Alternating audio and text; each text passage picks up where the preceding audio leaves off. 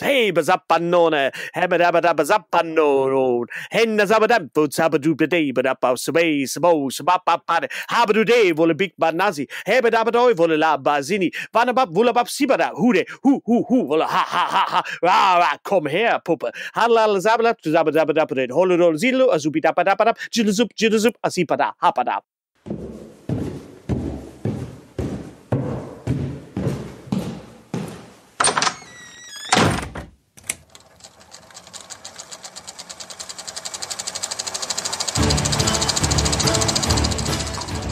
Watson, wenn man alle logischen Lösungen eines Problems eliminiert, ist die unlogische, obwohl unmöglich, unweigerlich eine neue Folge Siedecast.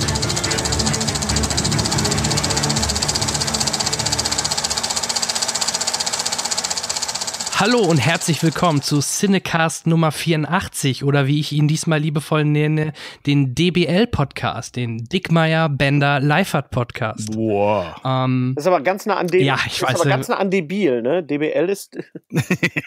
ich glaube, es war kein Versehen. ja, ich, ich habe mit dem Buchstaben schon ein bisschen rumgespielt. Ich dachte mir aber, okay, der, der Hennes, der muss in die Mitte, so wie auch beim SBS-Podcast. Na, da ist im Moment, da muss ja direkt. Der Gast zuerst. Da muss ja direkt intervenieren. Das heißt ja nicht SBS, das heißt ja Streter Bender Strebech. SBS, ich habe den, den, den Strebech schon gerügt, ja, dass er das immer so abkürzt, ja, aus, aus, aus Faulheitsgründen. Ah. Und deswegen sagen die Leute immer SBS. Ich so, nein, nein, nein, mit SBS hat das nichts zu tun. Weil SBS klingt ja nach, nach äh, Sommerschlussverkauf. Das war SVS. Äh, ja, ja, aber es klingt so. Klugscheißer. Ja, dann klingt alles ja, irgendwie so, wenn man es nur kurz genug ausspricht. ja, ja. In der IT ist SBS Small Business Server, ne? Und ah, äh, ich weiß, im Film, im Filmbereich war SBS immer diese Side-by-Side äh, 3D-Varianten, wo, wo du so ein Doppelbild im Einbild hattest, was dann halt übereinander gelappt ah, wird. Das war so, SBS. Ja, ja, ja, gut. Und schon wieder ein Stückchen schlauer als gestern. Ja, unnützes Wissen 500, ja. Mhm. Ja, super. Also wie gesagt, mich hat es gefreut, dass wir in dieser Konstellation es heute geschafft haben. Ich habe mal recherchiert. Wir haben uns zuletzt zu Star Wars äh, Rogue One zusammen gesehen und auch abgelichtet. Äh, das Foto wird sicherlich auch auf dem Cover sich wiederfinden, wo wir zu dritt sogar drauf sind. Das passt natürlich perfekt. Aber wie gesagt, das war äh, Dezember 2016, wo Rogue One ins Kino kam, ja. falls ihr euch noch erinnert. Ja, ja. Es, kann nur, es kann nur zu meinem Vorteil sein. Also in den letzten zwei Jahren bin ich nicht jünger und auch nicht schmaler geworden. Ich schon, ich bin jünger und schmaler. Ja, natürlich, ja, ich sag ja, ich, ich. Äh. ich habe einen Moment überlegen müssen, was ich jetzt sag. Eigentlich besser nichts, aber ja, auch ist in Ordnung. Aber du hast diese peinliche Pause habe ich nicht ausgehalten, Peter. Ja, ich, das habe ich gemerkt. Manchmal müsste ich, das schaffe ich aber auch nicht. Ich schaff's nicht. Nee, ich weiß, nicht. ich weiß genau, jetzt müsste ich nichts sagen und mein Mund denkt was anderes. Meine Zunge hat ein eigenes Kleinhirn. Ja, ja, das ist bei Männern generell das Problem. Ja. Hör mal, äh, Jan Beller, mach, mach, mach mal hier fertig hier. Über was wollen wir reden? Über, genau. über, über, über, Rogue, ähm, über Star Wolltest du direkt mit Star Wars anfangen? Weil das ähm, so, nee. nee. Lass mal Star Wars mal zur Seite, ja? Ich wollte auch gerade sagen, also ich hatte in der letzten Folge hatte ich den Marco Risch und den Sean Booth zu Gast und äh, da haben die beiden auch ordentlich abgerantet über den letzten Episode 9. Jetzt gerade, wenn man den so ein bisschen hinter sich lässt, ja. dann äh, sieht man vielleicht einige Sachen anders, als wenn man direkt aus dem Kino kam. Genau. Und ähm, ja, okay, wenn wir gerade dabei sind, es gab ja auch dann dieses Skript, was geleakt worden ist, wie der Film hätte sein vom, sollen, vom wenn er denn von, Trevor, ja. von Colin Trevor gekommen ja. wäre, ne? Ja, ich glaube, ähm, ich glaube ganz ehrlich, wir leben in einer Zeit, wo man sowieso erstmal die Sachen sacken lassen sollte, weil es ist mir viel zu viel äh, sofort Instant Reaction, bla bla, ohne mal irgendwie drüber nachzudenken, was man da jetzt sagt und wie man das sagt und was man auch spoilert und so. Äh, ich musste halt auch in den Film reingehen, so schnell wie es geht, damit ich eben aus dem einzigen Grund, weil ich nicht gespoilert werden wollte, nicht weil ich den Film irgendwie jetzt unbedingt sehen musste, sondern weil ich wollte, bevor mir irgendeiner das spoilert, renn ich eben in den Film rein. Und das ist ist, finde ich, keine gute Grundlage, um, um, um Film als, als, als Kunstwerk zu genießen. Mhm. Ähm, ihr sprecht mir völlig aus der Seele. Ihr kennt das ja auch, auch die Presse, Pressevorführung. Du kommst da raus, du hast noch nicht zwei Sekunden normales Licht wieder in den Augen und schon stehen Leute mit einem Zettel und einem Stift neben ja. dir und wollen eine fertige Kritik, coole Schlagzeilen oder Stadt, irgendwelche Schlagworte hören. Ja. Äh, es ist mir alles zu schnell. Ja, und sagen wir mal so, nur bei den wirklich, wirklich schlechten Filmen bin ich so schnell. Aber na, na, oder, Oder, ja. bei Toy, oder bei Toy Story 4. Okay, das war unser gemeinsames Highlight, wo wir grinsend zu dritt umarmend in, mit feuchten Augen da standen, aber ich glaube, verstanden hat uns auch keiner, weil wir gestammelt haben. Nein, aber, aber, aber ich, ich habe ich hab das Gefühl gehabt, dass da selbst der härteste Filmkritiker sagen musste, also selbst wenn er nicht unbedingt jetzt Tränen in den Augen hatte, aber gesagt haben, mein Gott, das ist, das ist sowas, sowas Schönes und sowas Tolles zu se sehen zu dürfen. Das ist ja, man wird ja auch so zynisch mit der Zeit. Man kriegt ja die Filme ähm, gezeigt. Äh, ich weiß noch, früher sind wir wirklich auch in jeden Film reingegangen und, und egal egal ob das jetzt irgendwie ein Kack war, Hauptsache wir haben einen Film umsonst gesehen. Und mittlerweile, wenn ich jetzt irgendwie früh aufstehen muss, um mir einen Film in, in Köln oder in Düsseldorf anzusehen und ähm, dann äh, auch, auch äh, Fahrkartenpreise bezahlen muss, teilweise, dann zahlt man ja für einen Film auch schon mal so 30 Euro, um den, um den äh, zwei Tage früher zu sehen, also als, als er dann läuft. Das kommt ja auch noch dazu bei, bei dem ganzen Pressezeug.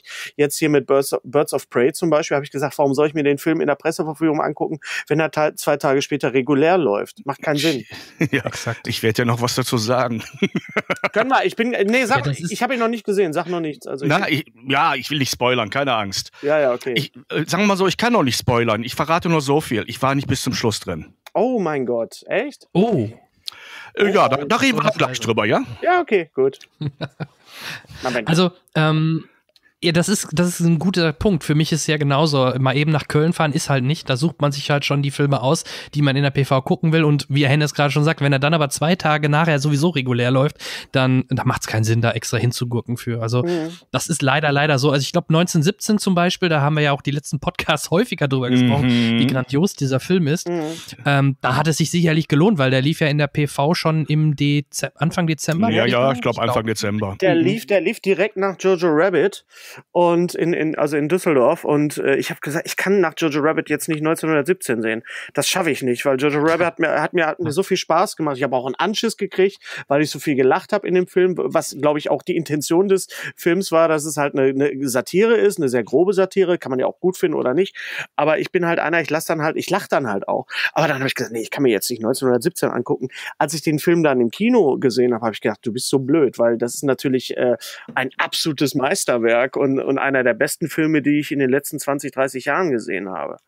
Eindeutig. Ich meine, jetzt mal unter uns, wie gut hat dieses Kinojahr 2020 angefangen? Ja, hervorragend, ne? Ja. ja. Für den Januar Wahnsinn, ja. Ja.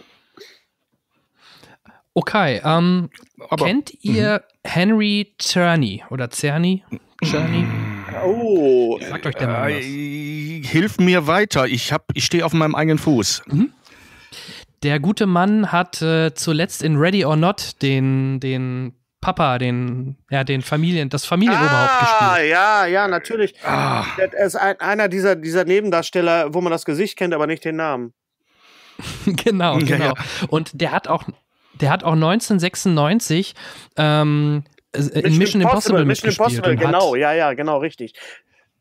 Richtig. Und er kommt wieder. Also er ist bestätigt für Mission Impossible 7 und 8, die beiden scheinbar so ein bisschen back-to-back -back gedreht werden, damit die wahrscheinlich ein bisschen zeitnah äh, ins Kino kommen. Auf jeden Fall kehrt er äh, in, äh, in Mission Impossible 7 und 8 zurück. Oh, oh. schön. Fand ich, fand, Fand ich ganz nett. Ähm, alleine die Info zu wissen, okay, nächstes Jahr kommt endlich wieder Mission Impossible, weil nach dem Fast and Furious 9 Trailer, der jetzt zuletzt kam, mhm. äh, sehne ich mich doch deutlich mehr Richtung handgemachte und äh, ja, cineastischerer Action aller Mission Impossible. Ja. Ich sag, ich sag nur eins, ich will Tom Cruise leiden sehen. Nein, Spaß beiseite. Der hat so ein Level vorgelegt, dass ich glaube, der späte Starttermin von Bond darauf zurückzuführen ist, weil da ranzukommen, es ist haargenau das gleiche Genre, das ist, ähm, ich fand ihn überwältigend, den letzten. Ja, auch da wieder, auch da wieder, die Leute haben äh, nach der Presseverführung, äh, das sind Algorithmen, das kann man. Ich so, ey Leute, ich habe selten so einen, ich habe noch nie so einen guten Actionfilm gesehen. Äh, natürlich hat es, mhm. hat er nicht den. Wollen wir mal äh, im Vergleich mit Bond erstmal den Bond jetzt abwarten. Ja, ja. Glaub, da werden, da werden sie jetzt einige, einige Stricke ziehen, um das, um, um, um äh, Spectre wieder gut zu machen. Äh, aber das ist, ich glaube, Bond ist Bond und und da, ich glaube, was was was jetzt auch mit Star Wars noch mal ganz kurz drauf zu die, diese Taktung, weil du sagst, es ist, er ist schon für Mission Impossible 7 und 8 schon gecastet. Ich glaube, was wir brauchen, mhm. ist eine etwas längere Taktung. Ich glaube, das war auch das Problem mit Star Wars. Früher waren Star Wars Filme drei Jahre auseinander, auch die Prequels.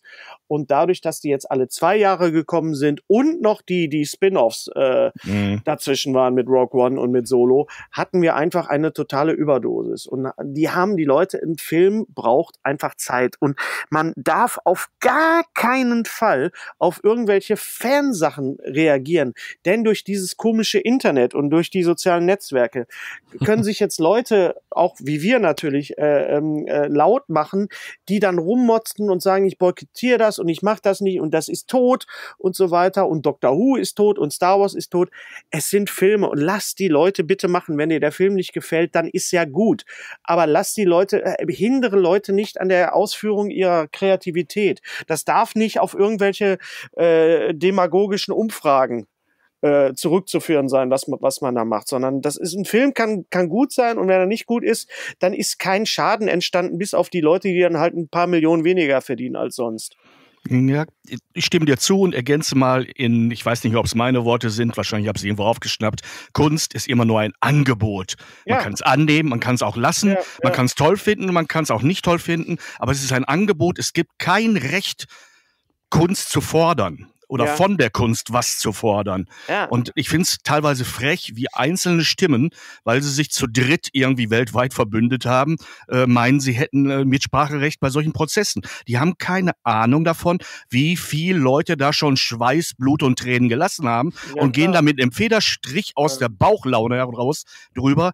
Äh, mhm. leider auch Kollegen von mir, muss ich gestehen. Und ich versuche, das, solange ich diesen Job schon mache, irgendwie zu vermeiden, dass mhm. ich, dass ich mich dabei einfach für zu wichtig nehme. Ja, ja, das ist immer das Problem. Und, und das ist, das tut der ganzen Sache auch nicht gut. Und, und das, das siehst du jetzt bei, bei, bei, bei Star Wars, bei, bei, bei, bei äh, Rise of Skywalker, da sind einfach zu viele Kompromisse gemacht worden. Und deswegen ist der Film an sich in sich auch nicht so gut, wie er eigentlich hätte sein müssen, wenn du überlegst, dass das gleiche Studio mal eben äh, mit Avengers Endgame eins, eins der furiosesten Sachen abgefackelt hat, was, was man je gesehen wurde. Echt gedacht hast, echt, das macht jetzt, ist großartig.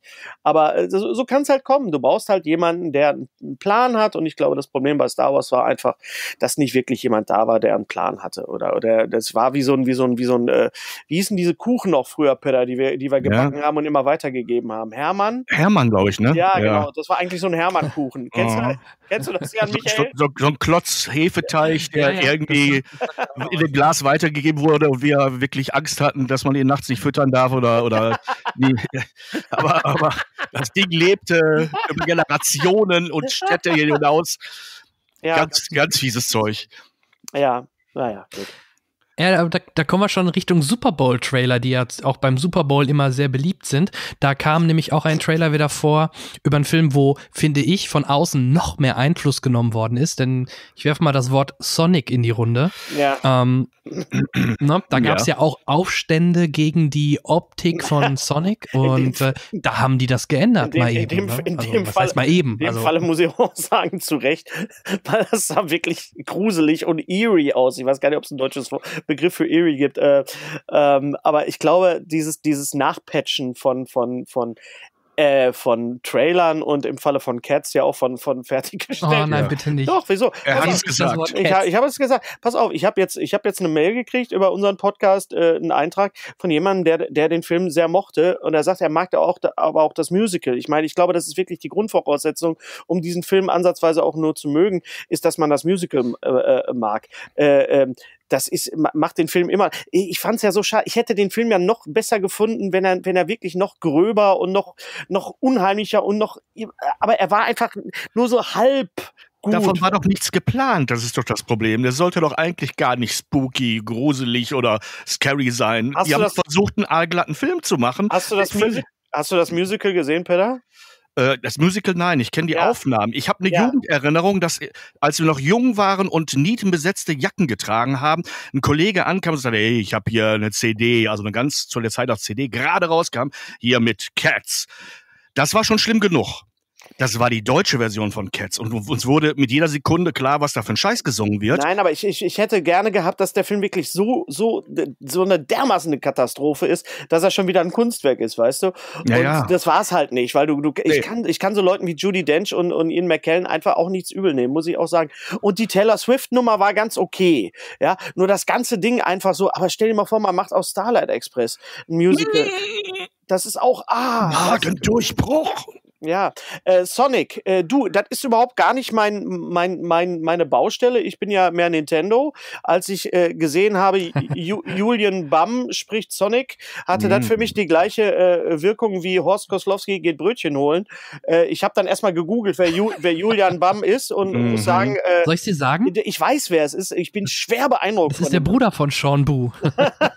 ich bin schwer beeindruckt von dem Mann. Also, was, der hat ja aber so hat von drauf und der, seine Klickzahlen und sein Erfolg ist ja auch dermaßen gerechtfertigt. Ich weiß nicht, ob er als Sprecher so äh, äh, äh geeignet ist, äh, kann mir aber vorstellen, dass das okay ist. Ich glaube nicht, dass das äh, so wird wie, wie, wie Gronk im, im Batman-Lego-Film, was ja eine, eine totale Katastrophe war.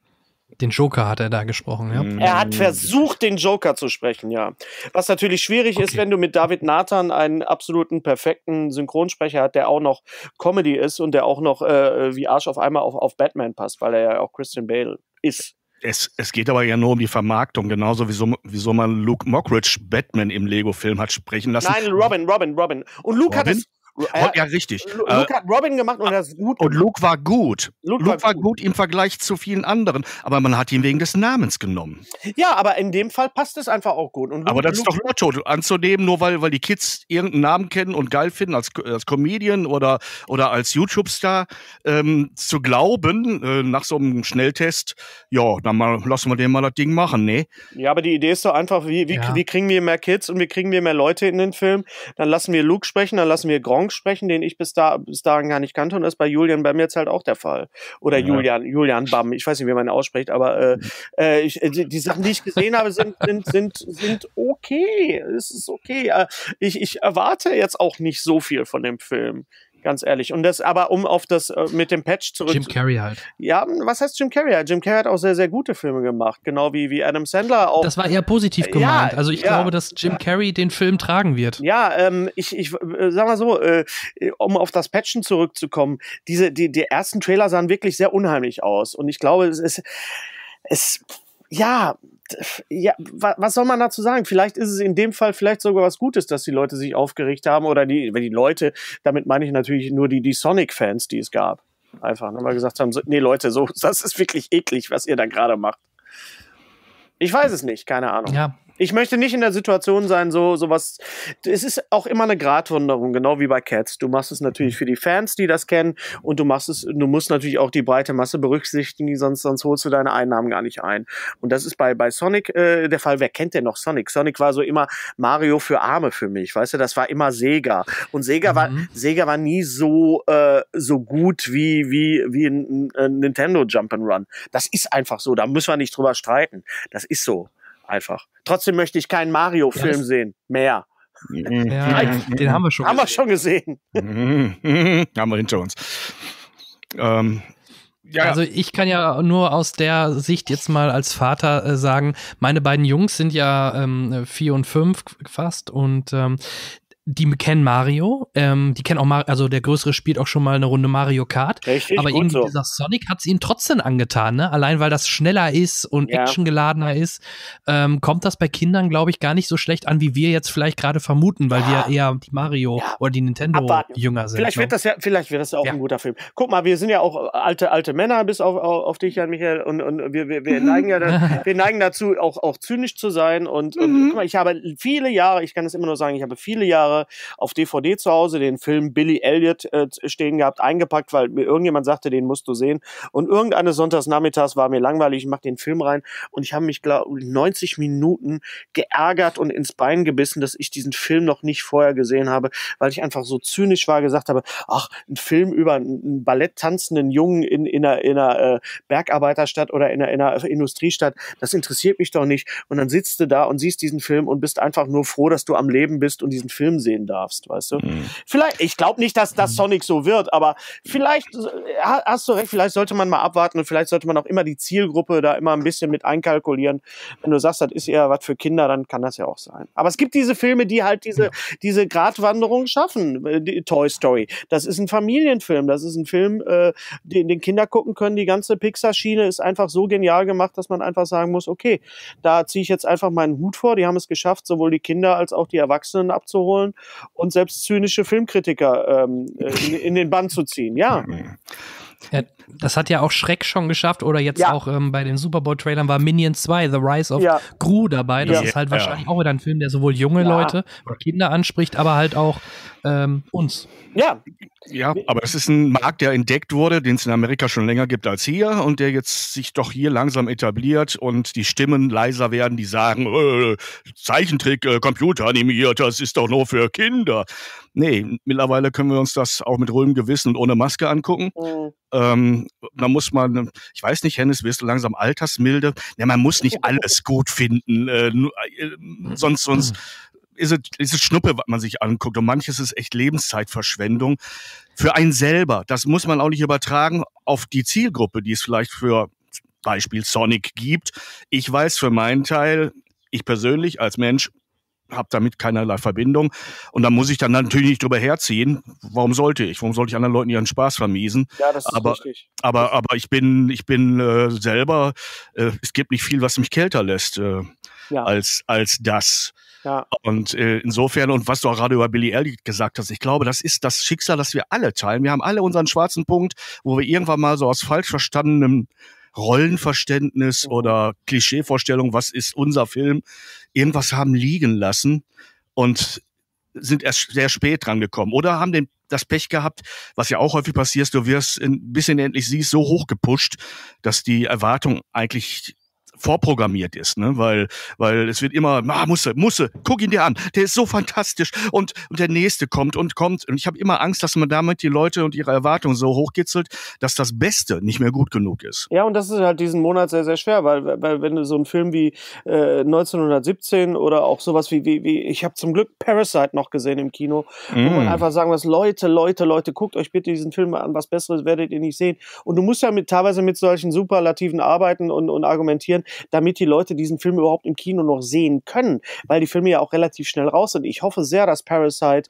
äh, im Zuge des Oscars ähm, noch in ein paar Kinos noch mehr laufen wird, denn da war ich auch, da habe ich meinen, meinen Kollegen Streberg quasi mit reingezogen an den nicht vorhandenen Haaren, ja, habe gesagt, wir gucken jetzt den Film an. Und er sagte, ja, so ein koreanischer Film, das, das, interessiert mich. Ich sag, hör mal, ich lese hier die, ich lese hier die Kritiken und, und von Leuten, äh, auf die, auf, de, auf deren Meinung ich sehr viel gebe. Und äh, ich möchte möchte halt nicht immer nur ähm, Jumanji sehen und, und, und Popcorn-Kino. Es hat alles seine Berechtigung. Aber es ab und zu gibt es so solche Sachen, die einfach so großartig sind. Und da war dieser Monat einfach unglaublich gut. Also auch, ich weiß nicht, habt ihr schon Uncut Gems gesehen auf, auf Netflix? Nein, leider nicht ein sehr anstrengender. Das ist der Adam Sandler, ne? Der Adam Sandler Film. Mhm. Der Film ist unglaublich ja. anstrengend. Also er ist wirklich, man kann ihn sich sehr, sehr schwer angucken. Er ist sehr, sehr, sehr äh, unangenehm. 1917 ist auch jetzt kein, kein äh, Feel-Good-Movie, ne? aber der ist einfach auch sehr, sehr stressig. Also wenn du einen hohen Blutdruck hast, würde ich diesen Film wirklich äh,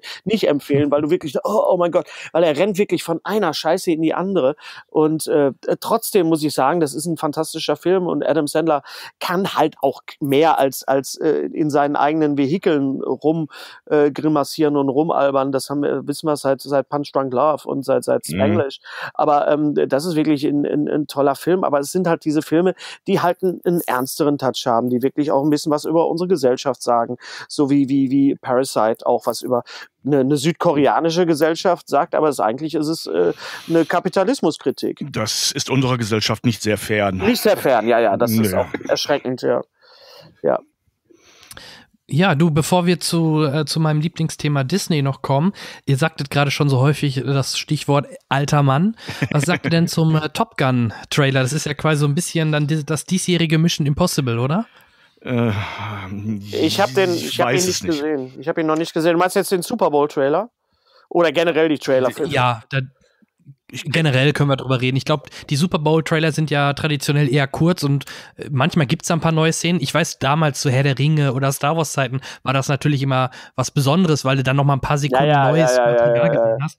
Also wenn ich jetzt die Super Bowl-Trailer, ich habe mir die alle mal angeschaut, da merke ich gar nicht mehr wirklich, dass da groß nee, neuer Inhalt nee, ist. Und wenn nee, ich sehe, der, der Final, ähm, der ähm, Fast and Furious 9 Trailer alleine ist fast vier Minuten lang, dann, dann ist das schon echt eine Länge, wo, was ungewöhnlich ist für einen Trailer. Ja, da passt ja auch quasi die ganze Handlung ein in vier Minuten bei Fast and Furious. Genau. Äh, bei, bei, Top, äh, bei Top Gun. Ähm, in Slow-Mo. Äh, vor, vor, vor ein paar Jahren habe ich Top Gun zum ersten Mal gesehen. Ich habe den damals nicht gesehen, als der im, im, im Kino lief. Ich habe ihn mir tatsächlich, tatsächlich, Achtung, auf 3D gekauft, in 3D gekauft als mm. Blu-ray. Und der, der, ist, der macht Spaß in, in 3D. Also das, da muss man wirklich sagen, das Ach. ist halt, es ist halt ein, ein 80er Jahre. Ich glaube, es war das erste wirkliche Vehikel für Tom Cruise, wo man gesagt hat, das ist jetzt die, dieser neue Typ und, und dem müssen wir jetzt irgendwie was auf, auf den Leib schneidern. Und mittlerweile ist Tom Cruise ja eine, eine einzige Maschine, die einfach, ja, äh, also kann nur sagen, Mission Impossible 6, äh, wo man echt sagt, warum macht der Mann das denn? Warum macht er dann? Ich glaube, der kann nicht anders. Der muss, der, der, der setzt für unsere Unterhaltung sein Leben aufs Spiel, aufs Spiel, dann lass ihn doch in Scientology sein. Wahrscheinlich ist er der Einzige, der, der wirklich einen Vorteil hat von Scientology, weil er sagt, ich weiß nicht, was die immer alle wollen, mir geht's super. Na klar, ja.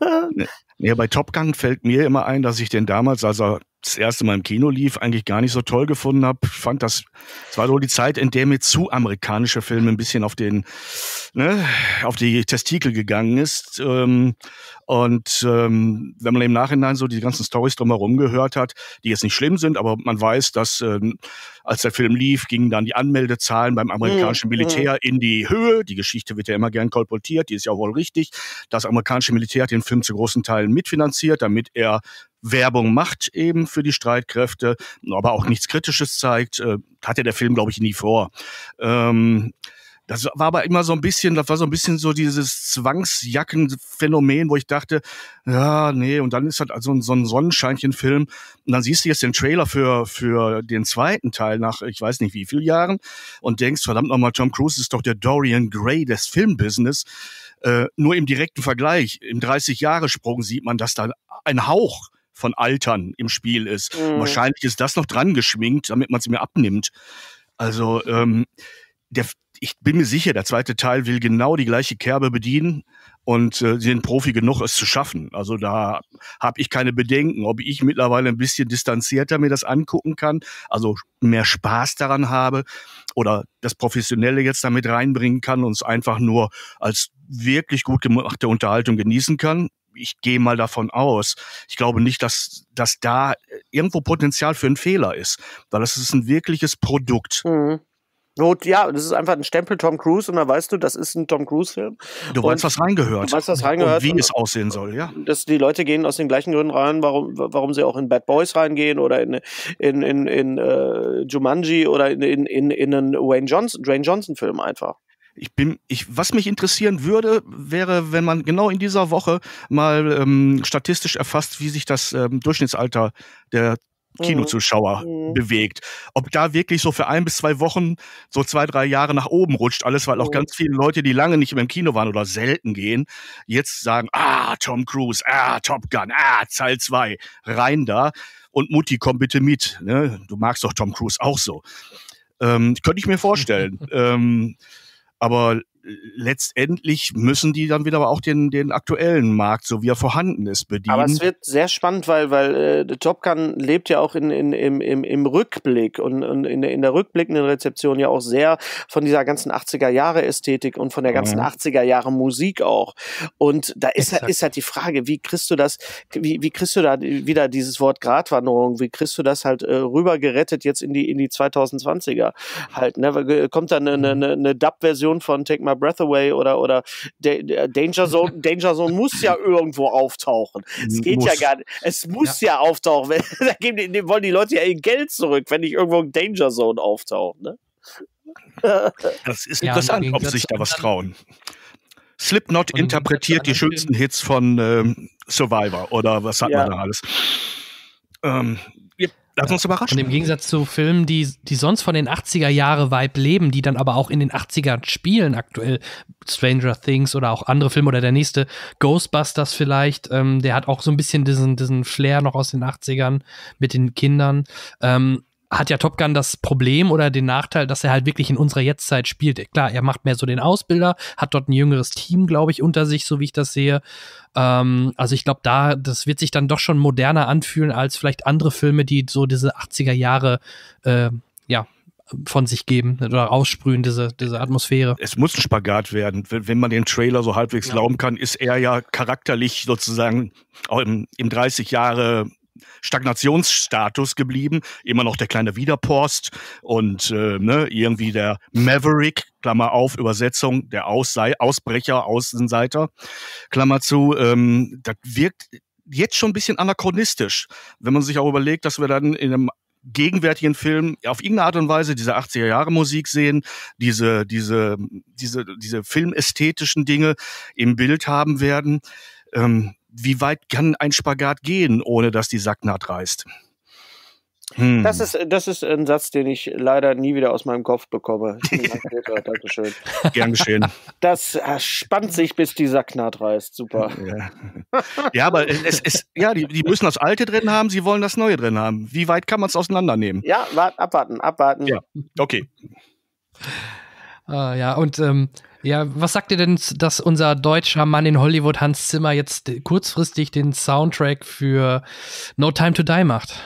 Seht ihr das positiv oder eher, also ich habe auch viele kritische Stimmen lustigerweise gehört, die sagen, ja, nee, Hans Zimmer und äh, Bond, das passt nicht. Solange ich den Soundtrack nicht gehört habe, kann man dazu nichts sagen. Das ist, er, er macht das, er ja. macht es wieder, er macht es wieder zusammen mit Johnny Marr, ja, die ja auch bei, bei Man of Steel äh, mit, äh, zusammengearbeitet haben und äh, viele sagen, der Soundtrack bei Man of Steel oder bei Justice League war das Beste an dem Film. Äh, Hans Zimmer macht ja. für mich jetzt nicht so äh, Filmmelodien, er passt unheimlich gut zu Nolan, finde ich. Er passt passt da unheimlich gut rein. Äh, aber er macht für mich jetzt nicht so Filmmelodien, die man so jetzt so nachsummen kann, bis auf das Pirates of the Caribbean Thema, mhm. was er ja nachweislich geklaut hat. Ähm, und ich äh, glaube, mir ist er jetzt nicht so sympathisch, dieser Typ. Weißt du, also ich mag den, den David Arnold sehr gerne und ich mochte auch die, die, die Musik äh, zu den Bond-Filmen. Äh, abwarten, ich freue mich super auf den äh, Titelsong von Billie Eilish, äh, weil ich gerade erst vor ein paar Monaten Billie Eilish entdeckt habe, auch wieder so eine alte Mann-Geschichte. Ah, da ist so eine 17-Jährige, die jetzt Musik macht, ja, lass mal, und dann hörst du und denkst, wow, das ist mal wirklich mal was anderes und mal was Neues. Und äh, das ist natürlich auch wieder Bond, ne? Inwieweit, inwieweit ist das noch zeitgemäß? Das haben wir seit Pierce Brosnan, als, als Judy Dench als, Dem zu, als M zu ihm sagt, so mhm. Dinosaurier wie sie gehören, äh, sind vom Aussterben bedroht und so weiter. Man muss sich de, der Zeit natürlich halt auch irgendwo äh, äh, ein Tribut zollen, da, damit man sagt, so, okay, wir, wir machen jetzt nicht nur was, was, was, was die Vergangenheit abfeiert und was, was nur noch Retro ist, sondern äh, dieser Film hatte, hatte auch 2020 noch irgendwas, äh, wenn nicht zu sagen, dann zumindest ein bisschen was mit der, mit der tatsächlichen Gegenwart zu tun. Ja, wie gesagt, ich möchte auch nicht über einen Soundtrack sprechen, den ich noch nicht gehört habe. Ähm, es wäre albern, da jetzt irgendwas Wertendes zu, zu sagen. Ähm, vielleicht ja. äh, das Potenzial bei Zimmer ist da, weil er es ja auch nicht alleine macht. Er hat ja seine Fabrik im Hintergrund und er ist eigentlich schlau genug, um es richtig zu koordinieren. Und selbst wenn er es nicht selber tut, ich glaube, das ist das Tolle an ihm, dass sein Ego damit befriedigt ist, dass sein Stempel Name, drauf ist. Dass sein Name drauf ist, ja. Ich finde es eher schade, dass er für Tennant, das, wie ihr gerade schon sagte, der passt gut zu Nolan, dass er für Tennant halt nicht den Soundtrack wer macht. Denn, wer macht, denn, wer macht denn für Tennant? Finde ich ein bisschen schade. Wer macht hm? das denn für, wer macht das? Ja, warte. Ah, du bist am gucken. Ja, ich muss gucken. Ich, ich weiß leider den Namen nicht mehr. Ähm, aber es ist halt leider nicht, also definitiv nicht Hans Zimmer. Thomas Newton? Äh, Weiß man es denn schon oder gehst du jetzt vom Trailer aus? Ja. Weil nee, Trailer ja auch gerne mal mit Musik arbeiten, die noch gar nicht äh, oder nachher nicht im Film auftaucht. Jan Michael, guckst du gerade in diesem Internet nach? In diesem was? Ja, Habt ihr das auch? Irre. Muss ohne Hans Zimmer. Aber Peter, du reagierst auch gar nicht mehr auf meinen Faxabruf, ne? Irgendwie. Das wollte ich dir mal sagen. Ist, ist, ist meine Brieftaube nicht angekommen? Die, ist, die ist noch im Backofen. Die ist noch nicht durch. Ich habe neulich ein Kabel von dir bekommen. ja. Ein Long Distance Call. ein Telegramm. Mhm. Ein berittenen Boten. Ja, schickt euch einen Fuchs. Ja, oder, oder so. Also auf meiner Videotextseite steht auf jeden Fall alles. Ja, genau. Ähm, monochrom, also ich, aber ich weiß es jetzt. ausführlich. Ja. Ich weiß ja. jetzt, wer den Soundtrack macht. und ich glaube, das ist gar, es ist vielleicht gar nicht so schlecht, weil ich glaube, der Hennis oder ja, Hennis ist auch ein großer Freund vom Mandalorian, ne? Oh, ja. Den Soundtrack macht Ludwig Göransson Gör aus Schweden. Ah. Und der hat halt auch den Soundtrack zu Mandalor Mandalorian gemacht. Man, man, kann ja von, es gibt ja jetzt auch Leute, die Mandalorian total doof fanden. Ich habe hab das sehr hart abgefeiert, weil der Soundtrack ja nur überhaupt gar nicht in keiner Weise an John Williams erinnert. Da haben sie es wirklich geschafft, mal was Neues zu machen. Äh, sowohl retro als auch neu zusammen. Und das ist äh, großartig. Da freue ich mich sehr drauf, auf den, auf den äh, Ludwig Gorgonson. Mm, ja, auf den. Äh, Ludwig den, den Ludwig. Wer auch den immer. Louis. Ja. So, ähm, also wie gesagt, der, der, macht halt jetzt den Tenant, äh, den Tenant Soundtrack und ich bin halt auf Tenant sehr gespannt. Vielleicht entpuppt es sich ja doch als äh, als Fortsetzung zu in, äh, Inception oder sowas, wer weiß. Irgendjemand hat gesagt, dass, dass die ersten vier Minuten neulich irgendwie als Vorfilm irgendwo liefen bei irgendeinem Film, bei irgendeinem IMAX bei irgendeiner IMAX ja, Das hat, glaube ich, Thorsten Sträter bei euch gesagt, ne? Dass, dass der vor Star Wars ja, oder dann, so lief. Dann, dann äh, muss man das ein bisschen mit Vorsicht genießen, weil, weil die Wahrnehmung von, von Herrn Sträter ist manchmal ein bisschen anders. Wenn er sagt, er hat vier Minuten gesehen, kann es sein, dass es der normale Trailer war. Also der ist ein bisschen. Stimmt, das war Thorsten, ja. Okay. Jetzt, wo du es sagst. Gut. Aber. Okay, ähm. Ja. Ja. Auf jeden Fall freue ich mich drauf. Auf jeden Fall freue ich mich auf Tenant und ich freue mich auf Bond. Ja. ja. Ich bin in dem Alter, wo ich mich äh, auf alles freue. Auf jeden neuen Tag, den ich Haupt erlebt habe. ja, Michael, du hast hier zwei alte Säcke ein, eingeladen. Die nur, die nur drauf. Da fühle ich mich immer am wohlsten, weil ich dann immer, ich, ich bin dann, ich fühle mich dann immer so jung. Das ist super. Ja, aber ja. du weißt, du weißt irgendwann. Als wenn ich da Julian Bam einladen würde. Ja, aber weißt du weißt, da fühle ich mich so alt. Irgendwann, rei irgendwann reißt die Sacknaht und dann bist du dran. Ja. Und ich würde wahrscheinlich ja. Silent Bam einladen, aber das ist ein anderes Thema. Ist egal. so. Sollen wir mal über Kinofilme reden? da kann ich wieder mitreden, weil ja, beim, beim Streaming bin ich nicht ganz so, ganz so weit vorne wie ihr. Da fehlt mir ernsthaft die Zeit zu. Da so muss ich, ja, ja, ich gebe es zu. Da gehe ich sehr selektiv vor, zumal sich hinter, neben und über mir andere Sachen türmen, auch was Filme angeht. Und es gibt auch schöne Sachen im Kino zu sehen. Zum was Beispiel? habt ihr denn, was ja, habt ihr denn zum Beispiel in letzter Zeit gesehen? Oder, äh, oder soll ich von, von meiner nach 1917 Phase reden. Mein nächstes heißes Eisen.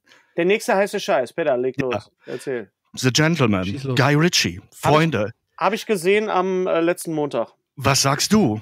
Ja, Guy Ritchie is back, würde ich sagen, oder? There's, there's fuckery afoot. Man kann diesen Film nur auf Englisch sehen. Es Eigentlich ist, ja, ne? Er ist nicht, er ist auf Deutsch, glaube ich, nicht sehbar. Ich, also ich glaube, dass der gut synchronisiert wird, aber ähm, es ist auch nicht der beste Guy Ritchie-Film, den ah! ich, aber, es, aber es ist, aber es ist, aber es ist ein sehr, sehr geiler, guter Guy Ritchie-Film. Und Hugh Grant ist Gott.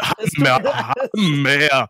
Ist das großartig. Charlie Hannon hatte ich auch nicht so gut gut erwartet. Ja, Charlie Hahn äh, spielt Charlie Hahn wie immer. Er hat immer diese Gesichtsbehaarung und so, aber. Äh, aber er, er passt sowas von großartig darin. Pharrell, mein Gott! Aber der, der, der Film ja. steht und fällt mit Hugh Grant. Das ist so. Natürlich, natürlich. Aber was der Mann sich traut, 30 Jahre lang spielt er die gleiche Rolle in Dutzenden von Filmen. Und er stammelt hier auch gar nicht. Also, hast du ihn, Peter, hast du ihn in, in, in Paddington 2 gesehen? Ähm, ja, ja. Da Gut. Ist so, das ist schon mal die Vorstufe. Sozusagen ein Teaser dafür, ja, ja. Das ist schon ein Teaser, ja, ja. Hast also du, Jan Michael, hast du Paddington 2 gesehen? Ich muss passen. Nein, nein der ist fantastisch. Ich, der ist fantastisch. Beide Paddington mach es, mach vor, allen Dingen, vor allen Dingen Paddington 2. Nicht nur, weil Hugh Grant das ist, aber äh, also es ist, äh, es ist toll. Absolut fantastisch, ja. Nein, also ich habe mich, was Guy Ritchie angeht, da auf, auf die Quintessenz selber gebracht. Ich muss mir ja immer überlegen, was ich da, äh, wie ich mein, meine analytischen Gedanken auch verbalisiere. Ähm, dass er im Prinzip die Qualitäten, die er hat, mit denen er angetreten und aufgefallen ist in, in, in seinen, was weiß ich, bis Snatch-Filmen, sag ich mal.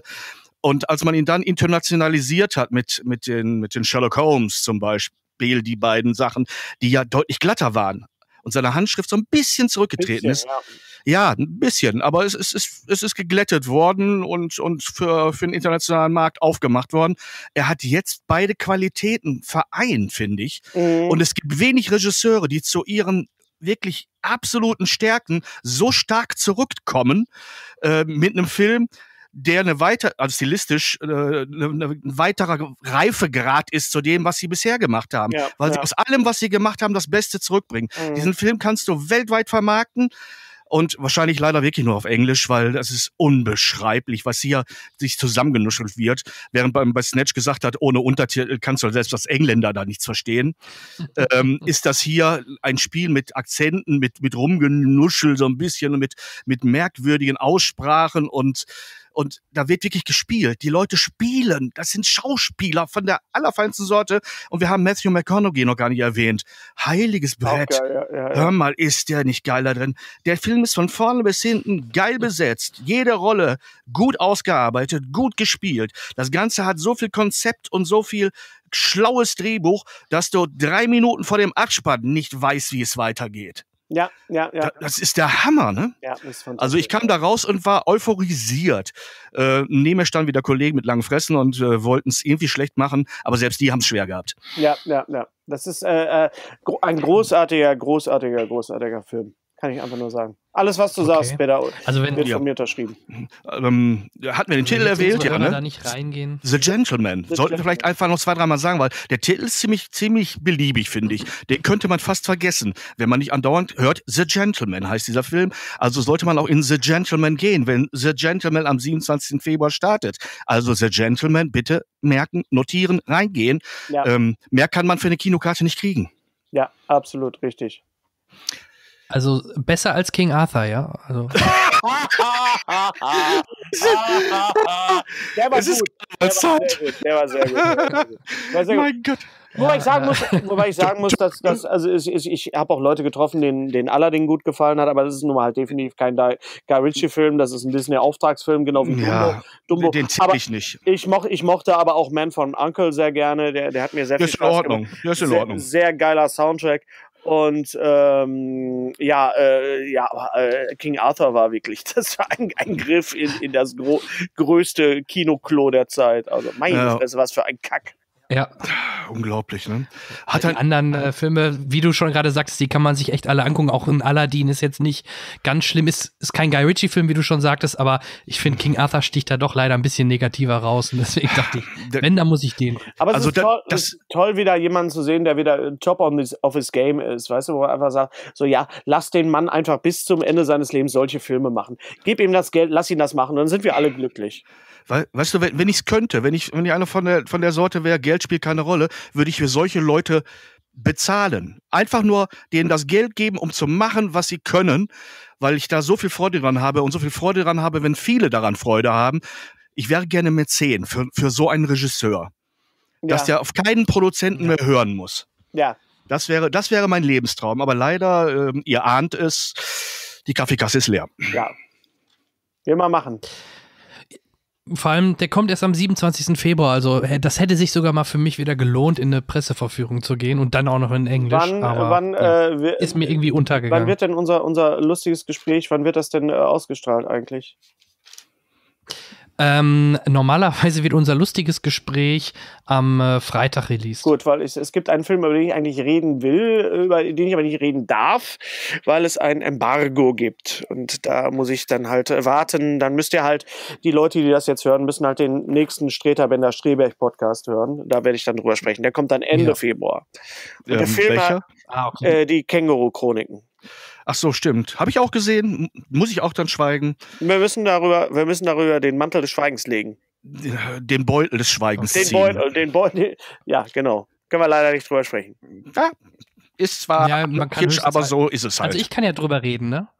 Du kannst ja. Ich ja nicht gesehen, also kann ich drüber reden. Du hast es nicht unterschrieben, das stimmt. Ja. So, nee, lies, genau. lies vor, mach schon. Also äh, Känguru-Chroniken, also äh, ich habe die Bücher nicht gelesen. Ähm, das könnt ihr auch sagen. Habt ihr die Bücher schlecht, gelesen? Schlecht, natürlich. Mm, ich habe sie nur als Hörbücher, nur. Ich genieße es bei der Fahrt und muss aufpassen, dass die nicht von der Spur abkommen. Also man kann die als, als Hörbücher, äh, als Hörbücher sind natürlich fantastisch. Und äh, ich habe aber auch die, äh, nee, ich habe das erste Buch gelesen. Ich habe das erste Buch gelesen und den Rest als Hörbücher. Allerdings gibt es zwei verschiedene Hör Hörbücherformen, äh, und zwar die, die im Studio gelesen und die live. Also ich kann nur sagen, hört euch das als, als Live-Lesung äh, an. Das habe ich auch gesehen, also mit Bild, ja, also live ja, auf ja, on stage. Es war großartig. Ja, ja, ja. Ähm, also gefühlt, mhm. ohne, ohne ihn gesehen zu haben, würde ich, würde ich vermuten, dass man da schon seinen Spaß dran haben kann. Ich fand die Trailer sehr originell, dass die in dem Trailer so gesagt haben, so, wir schneiden jetzt mal nicht die besten Szenen zusammen, sondern die langweiligsten. Alleine, dass man so ein bisschen mit dem Medium in dem Moment spielt, fand ich halt sehr sympathisch und hat sehr viel Spaß gemacht. Und äh, also ich könnte mir, ohne dass ihr was sagen dürft, vorstellen, dass man da viel Spaß dran haben kann. Ist ja eine deutsche Komödie, richtig? Also ist ein deutscher Film. Das, ja. Ich glaube, das dürfen wir sagen. Das, das kann man halbwegs bestätigen. Das kann man bestätigen, dass das, also das, das Gegenteil wäre mir völlig neu. Ja, also ich würde okay, genau. den Ausschluss okay. auch nicht praktizieren. Und, und, und, nachdem ich ja, nachdem ich auch Benjamin Blümchen gesehen habe, oh. wo man auch ein Tier animiert hat, bin ich mal sehr gespannt auf, auf den, äh, auf das Känguru. Ja. ja. ja. Und auf Henry Hübchen. Der ist übrigens nicht animiert, das, er macht selber.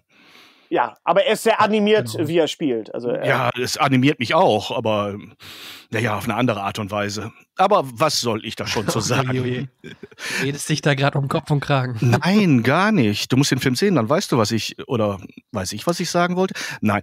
Ähm, schau ihn dir an, aber du hast, glaube ich, das Wichtigste gerade gesagt. Äh, wenn man die Sachen kennt und sie mag, dann okay. kann man wirklich dazu raten.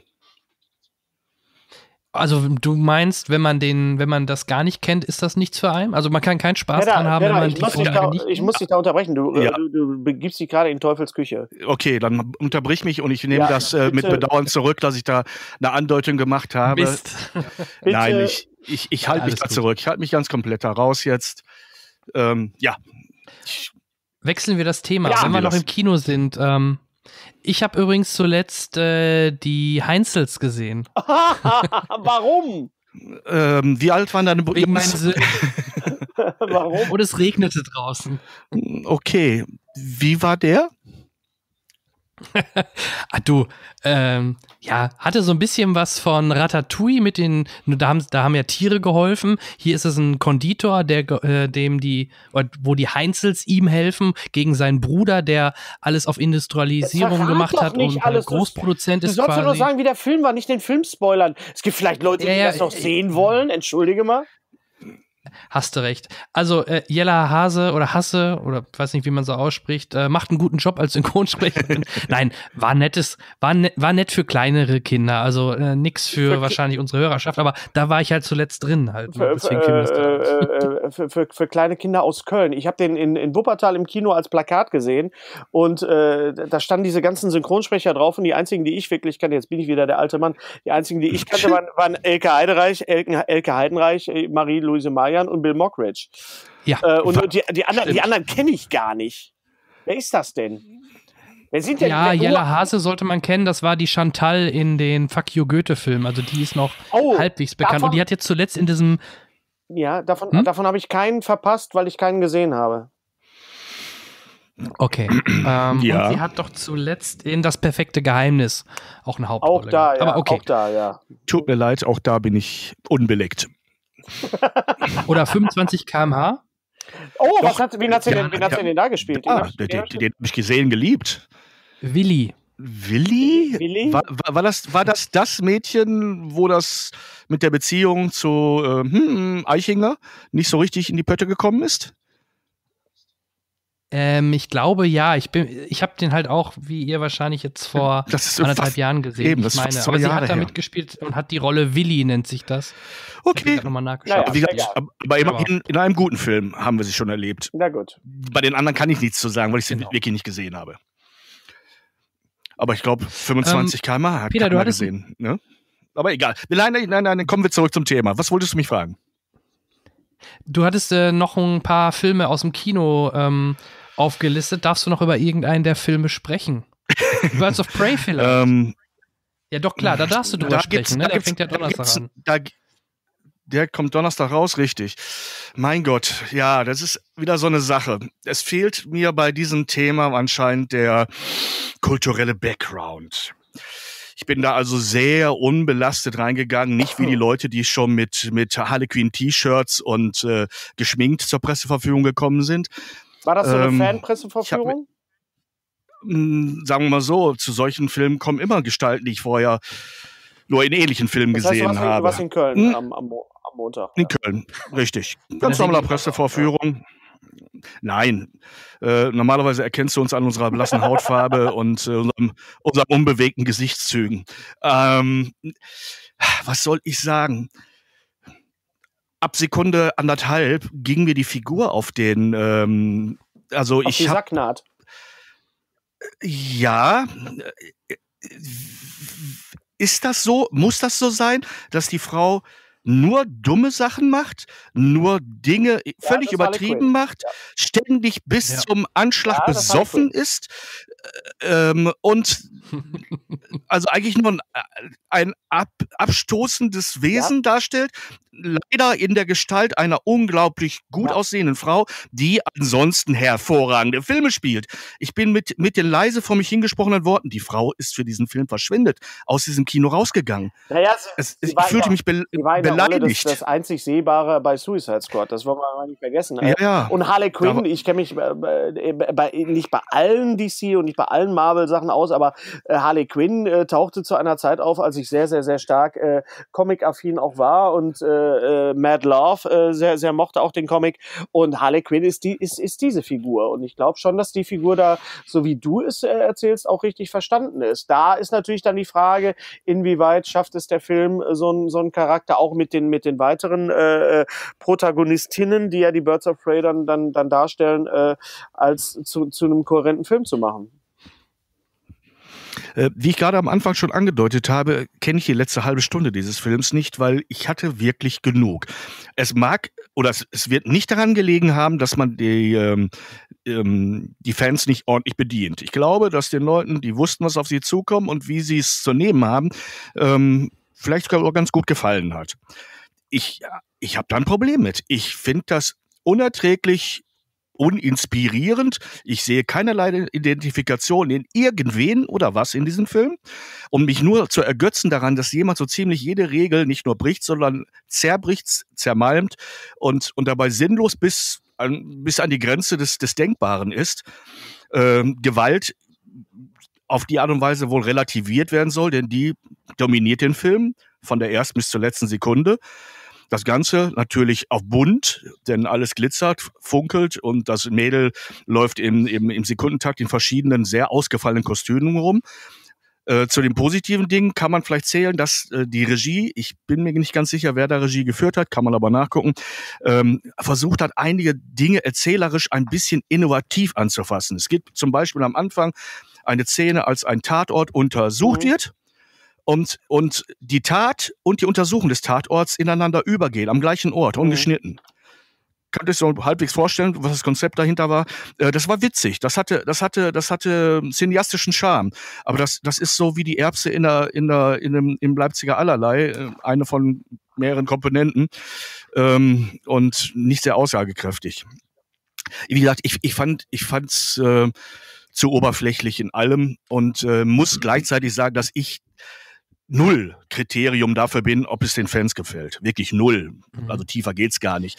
Aber als unbelasteter Mensch, der da reinkommt, als alter Mann, gehe ich da rein und denke, hä? Was wollt ihr von mir? Warum ist diese Frau so dumm? Mhm.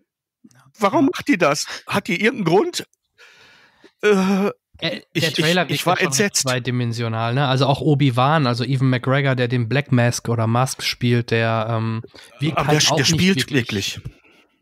Hm? Ja, aber der spielt mit, mit dem Charakter, den er da hat und, und verleiht ihm mehrere Facetten. Leider ist, ist diese, diese Hauptfigur, ähm, diese, diese Harley Quinn, sehr eindimensional. Da, da tut sich nichts. Null. Also solange ich zugeguckt habe, äh, und dann, wie gesagt, habe ich mich äh, vor die Tür gerettet, bevor ich eingeschlafen bin, ähm, war die so, wie sie in der ersten Mhm. Sekunde also war. kein, Ar- kein, kein Arc oder kein, keine Brücke in dem Sinne. Nee, nee Okay. ich habe ich hab Mhm. keine gesehen. Und ich war wirklich willens, auf neutralsten Boden einfach mich nur bespaßen zu lassen. Aber es wollte sich bei Gut. mir nicht einstellen. Hört sich jetzt drastisch an, aber ich bin halt nur eine Stimme und es wird genügend andere geben, die mir Tut- widersprechen werden. Tut die Abwesenheit Aber, des ja. Jokers dem Film denn gut? Ach, das ist ein Satz, den wollte ich schon immer mal sagen. Ein Ja. Tor hätte dem Film gut getan.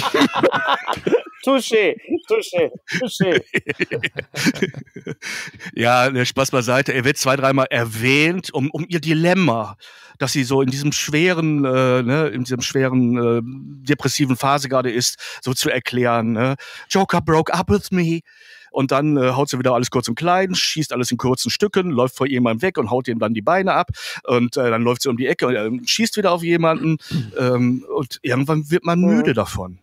Ja, auch verständlich, dass sie ihn nicht gezeigt haben, denn äh, ich glaube, die meisten, die jetzt äh, diese Filme auch noch gucken, die haben erstmal den letzten Joker in Erinnerung. Da, dazu passt es halt dann wieder nicht. Ich glaube, die wenigsten äh, kennen überhaupt noch den, den Joker aus Suicide Squad, ähm, der ja auch sehr unzufrieden war, dass er keinen Solofilm bekommen hat. Das, das ist ja auch nochmal so ein Thema mhm. für sich.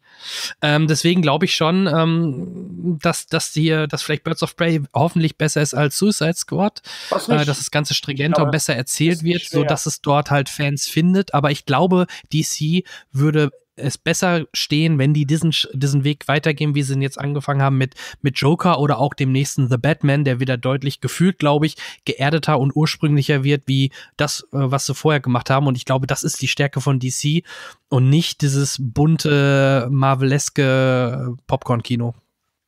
DC ist im, im Marvel-Aquarium der verkehrte Fisch. Der, die, die können denen das Wasser in dem Bereich nicht reichen. Sie müssen ihren eigenen Weg finden. Sie haben ihn mit Joker gefunden. Äh, ich hoffe eben auch auf den nächsten Batman. Und dann haben sie Klasse. Dann sind sie großartig. Ich liebe die Figuren auch im Grunde genommen, die ich kenne. Ne? Also ich bin auch ein Batman-Fan äh, seit Kindestagen, aber aber äh, wenn das Ganze wie eine schwache Kopie dieser, dieser völlig überdrehten Marvel-Verfilmungen daherkommt und nicht halb so schlüssig wirkt, dann lass ich's lieber. Ja, ja, das sind Worte, die müssen erstmal. Okay, ja, also das ist jetzt auch ein Film, den da, da renne ich nicht äh, mit, ähm, mit Freude rein. Das ist so, wie Hennes gerade sagte, wahrscheinlich sowas eher wie in Jumanji 2. Ja, muss man jetzt nicht zwingend noch mal ins Kino, ne? 72. Ja, aber Nein. Jumanji 2 hat mir sehr viel Spaß gemacht, muss ich dazu sagen das ist ein Film, da, da weißt du, genau. was kommt und du kriegst ja, es ja. auch. Das wird hier auch nicht anders sein bei Birds of Prey, äh, The Emancipation of äh, Harley Quinn. Ähm, wunderbar langer Titel. Ich wird ja übersetzt noch? Keine Ahnung. Ähm, es ist, äh, aber ich, ich wiederhole mich da. Äh, es gibt ein anderes Publikum, als ich es bin. Hat einer von euch denn, ich will jetzt, oder wollt ihr was dazu sagen? Oder können wir mal was Aktuelles machen? Ja, ich habe also Harley Quinn nicht gesehen, noch nicht. Äh, wollte ich morgen vielleicht rein. Ja. 21 Bridges schon gesehen? Noch nicht. Möchte da jemand was zuhören? Kannst du machen?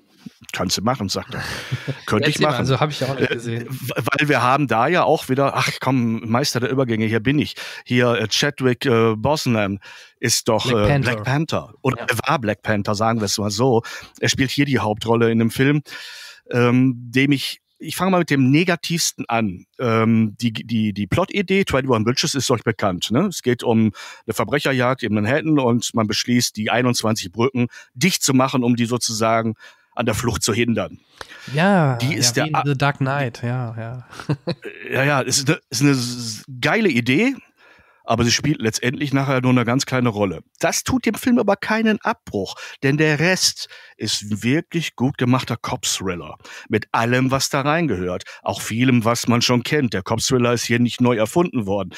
Aber ich sag mal, auch wenn man das Rad nicht neu erfindet, wenn ich mein Auto bereifen lasse, will ich auch keine alten Reifen haben.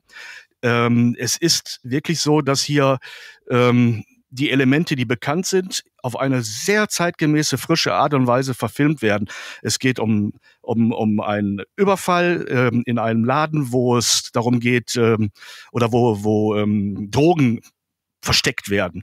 Und zwei Jungs steigen da ein und wollen 30 Kilo Heroin oder Kokain, ist auch egal, klauen, stoßen aber auf ein Riesenlager mit Hunderten von Kilos. Und in dem Moment wird ihnen klar, mhm, da scheint was Großes hinterzustecken. Vor allem gehört das jemandem, der wohl wirklich Power hat. Also sie schnappen sich, was sie können, schießen sich den Weg frei, sorgen für jede Menge Blut und ähm, sind ab da auf der Flucht. Wissen aber auch, dass äh, sie von denen, denen sie da in die Suppe gespuckt haben, ähm, auch verfolgt werden und versuchen dann, ähm, ich sag mal, Allianzen zu schmieden und zu bauen, um äh, trotzdem aus dieser Zwickmühle rauszukommen. Denn es gibt in diesem Moment keinen, den sie mehr über den Weg trauen können. Weder der Polizei, die sie ja natürlich haben will, noch der Unterwelt, die sie natürlich haben will, und der Unterwelt in der Polizei, die natürlich auch eine Rolle spielt, und so weiter und so fort. Und dann, der Rest ist Spannung, gelegentlicher Schusswaffengebrauch und äh, ziemlich coole Action. Okay. Ja. Müsste ein Flop werden. Ähm, ich sehe gerade, der Taylor Kitsch, äh, Taylor Kitsch spielt mit. Spielt er echt oh. mit? ja, dann wäre, dann haben sie was verkehrt gemacht. äh, nein, ja, er, ja, spielt, er spielt, äh, ja, der bisher eigentlich alles versenkt hat. Nein, er, er war es nicht selber, aber er hatte viel Pech bei der Rollenwahl, sagen wir es mal so. Er versenkt hat er bei Battleship wahrscheinlich was, aber ansonsten, ja. Den konntest du nicht versenken, der ist nee, nie aufgetaucht. Den, das war eine Vorlage jetzt gerade, den musste ich versenken. Ja, ja. Ja, muss ja, ja genau. Ja. Das war von vornherein ein U-Boot. Nein, aber er, er, macht, er, macht, hier einen super coolen Job. Er ist einer von diesen ganz fiesen, er ist der fieseste Gangster hier drin. Und äh, er stellt es uns andauernd unter Beweis und sehr eindrucksvoll. Ich bin mal gespannt. Also das, das klingt so, als ob ich den sehr gerne mir angucken ist solide Ware, absolut ja. solide Ware. Ja. Ja. Ja, wobei da ich, da würde ich doch den, äh, den Film, den ihr vor, äh, warte mal, 27. Jahr, der jetzt Ende des Monats erscheint, ach ja, hier, The Gentleman, den würde ich The ja dann Gentleman, ne? Ja, ja, ja, ja. Gentleman, der soll gut sein, ne? Hat man gehört. Gentleman hat irgend, hat irgendeiner mal was von gesagt, dass der sehr gut sein soll, der Film. Ich weiß auch nicht. Das muss, das muss so irgend, ja, ja. Ich weiß nicht mehr, wo ich das gehört habe, aber Stimmt. Blue Bega macht den Soundtrack, oder? Den, das Titellied? Äh, Wo? Von, von wem? Von Gentleman? Ja. Hm, ich glaube, das war jetzt. Haben wir die Pointe verpasst, oder? Ja, ein Song ja? von ihm hieß doch Gentleman. Ja, ich bin, ich bin nicht so in der Lou Bega-Welt zu Hause wie so. der eine oder andere. Aber ja, ist, warum ist egal. nicht? Ich, ich, ähm, kann man, ich muss, da arbeiten wir jetzt nochmal dran. Den ich muss an den Gags noch, kann noch arbeiten. Ja. Ich bin ja, ja nicht der Komiker hier in der Runde. Also. Aus neuen Autor, ja, ja, ja. ja. Ich habe mir, ich hab mir ähm, wir, wir, es ist ja schon so, dass wir durchaus viele Filme konsumieren und dabei halt äh, die Sachen, die dann wirklich rausstechen, dann auch wirklich äh, rausstechen, dann auch wirklich. Also diesen Monat mit, äh, angefangen mit, mit Jojo Rabbit und Knives Out und, und 1917 und auch so zwischendurch dann einfach so ein paar schöne Streaming-Sachen sich anzugucken. Äh, ich habe mir jetzt tatsächlich vorgenommen, ich habe es nicht wirklich durch, durchziehen können, aber ich habe mir wirklich vorgenommen, jeden Tag einen Film zu gucken. Ähm, meistens ist es dann so, dass es dann, dass es dann doch irgendwie eine, eine, eine Folge einer Serie wird. Hast, hat einer von euch denn schon Picard gesehen? Ja, leider nein. Die ersten drei Folgen. Deswegen, das, das habe ich auch auf meiner Agenda. Sind die ersten drei dann raus oder die ersten zwei? Ja, Amazon verteilt Screener, lieber Hennes. Hättest mich mal gefragt. Das wusste ich nicht. Das wusste ich ja, nicht. Sorry. Ja, äh, ich frage dich hiermit, ja, aber ich, ich kann ja abwarten. Ich kann ja abwarten. Äh, äh, ja. Äh, bei Amazon ist es nicht so einfach geregelt wie bei Netflix, dass es dann auf deinen Account freigeschaltet wird. Aber ich hatte die Möglichkeit, sogar noch vor dem Start von PK die ersten drei halt zu gucken. Und okay. das, das wäre halt jetzt auch ein Themenpunkt, äh, den ich hier stehen habe. Ähm, die ersten zwei hast du ja dann gesehen, Hennes? Die ersten zwei habe ich gesehen, ja. ja. Ähm, wie ist denn der Eindruck? Was meinst du? Also erstmal ist es äh, ein sehr guter Zeitpunkt, das jetzt zu, es ist ja kein Reboot, es ist ja eine Fortsetzung quasi. Äh, mhm. nachdem ich ja die, die, die, äh, glaube ich, die zweite Staffel Discovery, Star Trek Discovery ein bisschen unterkühlt gelassen hat, äh, muss ich sagen, dass ich natürlich Patrick Stewart natürlich sehr, sehr, sehr gerne sehe. Äh, Peter und ich sind damals 1998 nach Hamburg gefahren. Äh, äh, ich, weiß, ich weiß gar nicht mehr, wer gefahren ist. Ich glaube, du bist, ich glaube, du bist gefahren. Ist das jetzt echt ne? oder wird das ein Gag?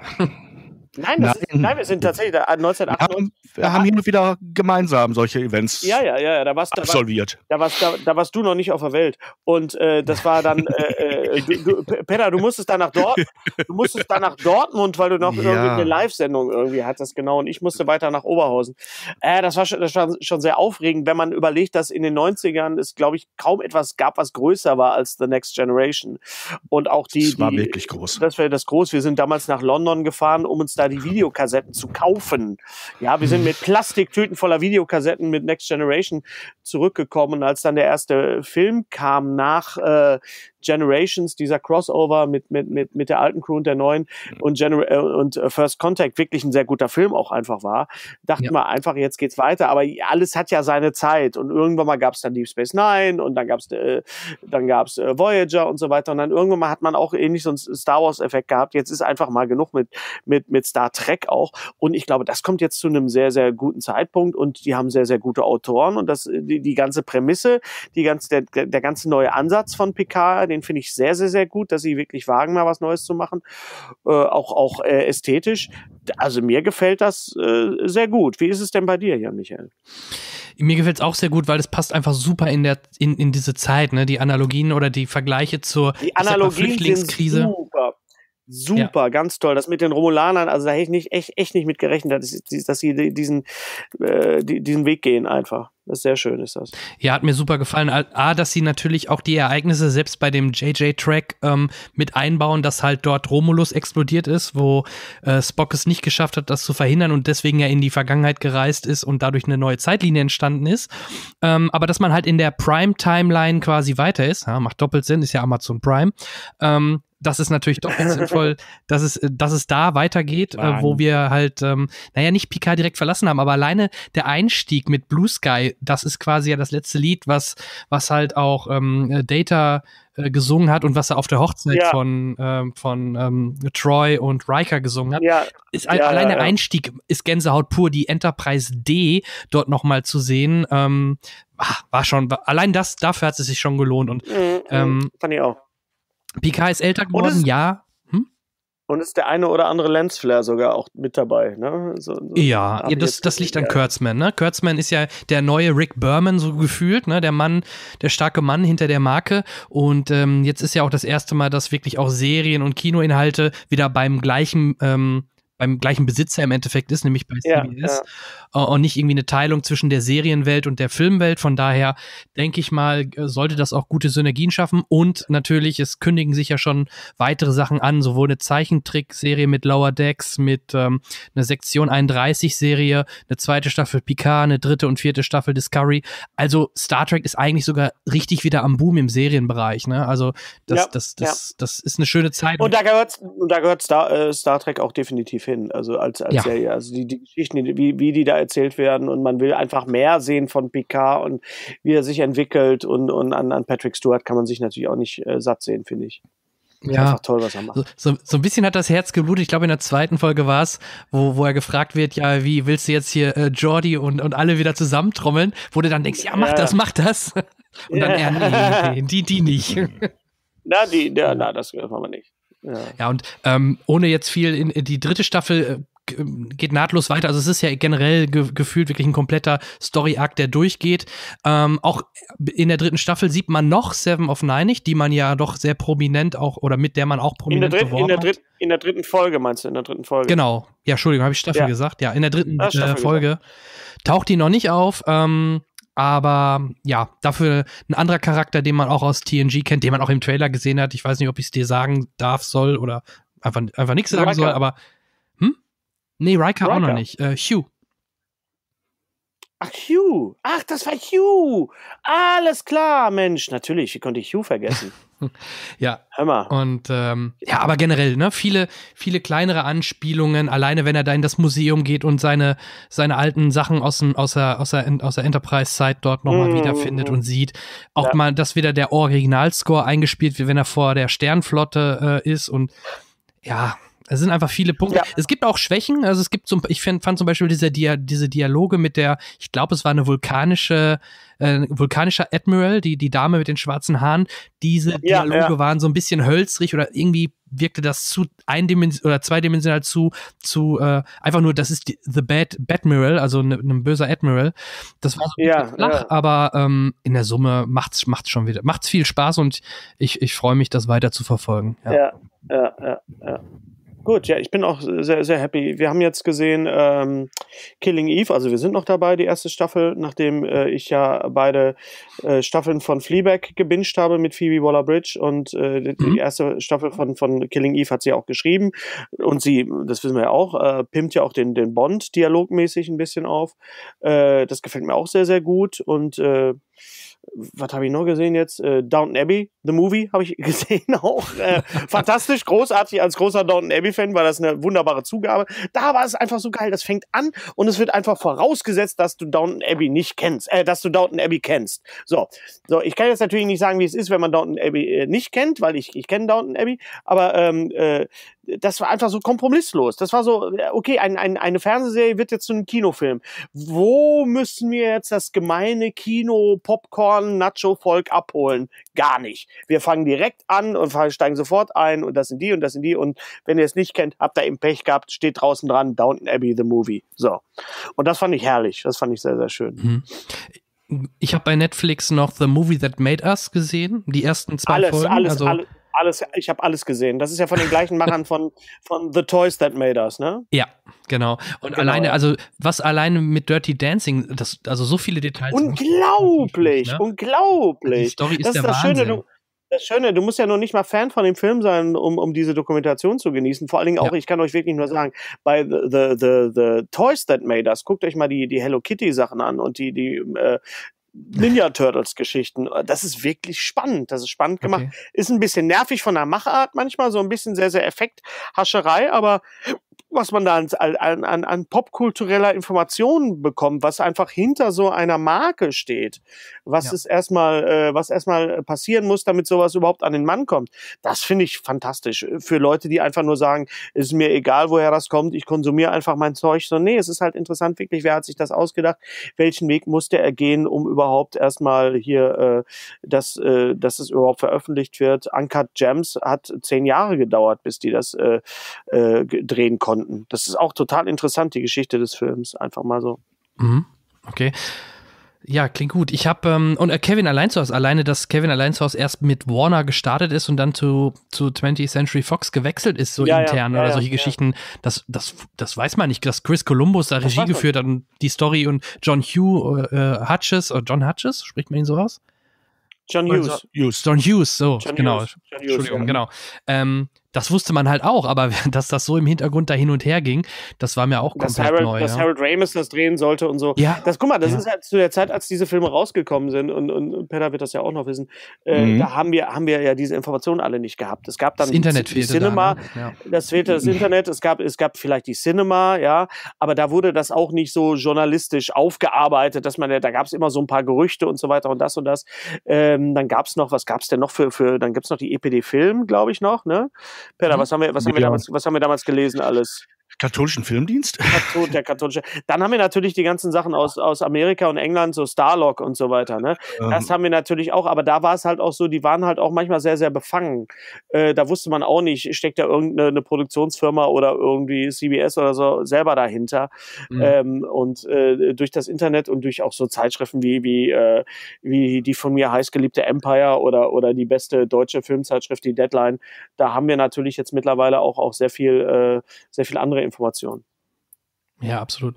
Übrigens, 20th, 20th Century Fox heißt jetzt 20th Century Studios, ne? Durch den Kauf von Disney Mhm. haben die den alten Namen wieder aus der, aus der Mottenkiste gekramt. So hieß das Studio sogar mal früher, bevor es äh, zu Fox ging. Und man äh, ändert einfach nur das Ende, äh, die Endung von Fox auf Studios. Du weißt doch warum? Ja, weil, weil Fox aufgekauft Genau, worden ist von Disney genau. und man nicht mit dem Fox Murdoch-Konzern weiterhin Eben. Noch, äh, Ja, ja. in Richtig. Verbindung Ja. gebracht Weil man, ne? weil man, weil man mit diesem Propagandasender irgendwie nicht in einer, in einer äh, sprachlich in einen Topf geworfen werden möchte. Genau. Ähm, wie- Hm? Vielleicht kann ich, äh, es fällt mir gerade so ein, bevor ich es vergesse, alter Mann hat ein chattiges Gedächtnis. Ich habe letztens einen super tollen Podcast gehört, äh, der auch im BR, sprich Bayerischen Rundfunk, auf der Homepage noch zu finden ist. Der heißt Nie im Kino. Kennt ihr das? Nein? Das Mhm. ist eine Podcast-Serie von einer Kollegin, Christiane Wolf, die Filmprojekte, die nie realisiert worden sind, äh, Oh, geil. recherchiert hat. Und da ist unter anderem äh, ein unveröffentlichtes oder un nein, ein unverarbeitetes Drehbuch für einen Indiana Jones Ah. and the Monkey King oder etwas über ähm, ein Bond-Drehbuch äh, und dessen Geschichte, die ja dann doch in der Art und Weise nie gemacht wurde, dann zur ersten Dune-Verfilmung, nicht die von David Lynch ähm, und so weiter. Äh, heiße Empfehlung mal Die, die, nach Daran, die Daranowski-Verfilmung. richtig, die Ja, ja, auch nie okay. realisiert Ja, wurde. ja. Hast du die Dokumentation dazu? Ja, ja, ja, ja Hammer, ne? Absoluter Hammer. Ja, ja, ja. Und äh, solche Projekte werden da vorgestellt und das sehr gut aufgearbeitet, sehr unterhaltsam eingesprochen und mit, mit, mit Interviewteilen. Also es macht schon Spaß, das sich anzuhören. Nie im Kino. Das, erinnert mich auch an, äh, da gab es ja auch Superman mit Nicolas Cage, der nie gedreht worden ist, wo es auch schon sogar Testaufnahmen gab und und und. Nicolas Cage im Superman-Outfit und, und so weiter. Mhm. Also von, von, von, von Tim Burton, ja. Genau, mhm. richtig, Tim Burton war es, ja. Es ist auch eine sehr schöne Dokumentation äh, auf, auf Netflix gerade, das Making of äh, Galaxy Quest. Oh, ja. Oh. Peter, das war, das war ja auch zu der Zeit mit, mit da, Stewart, ne?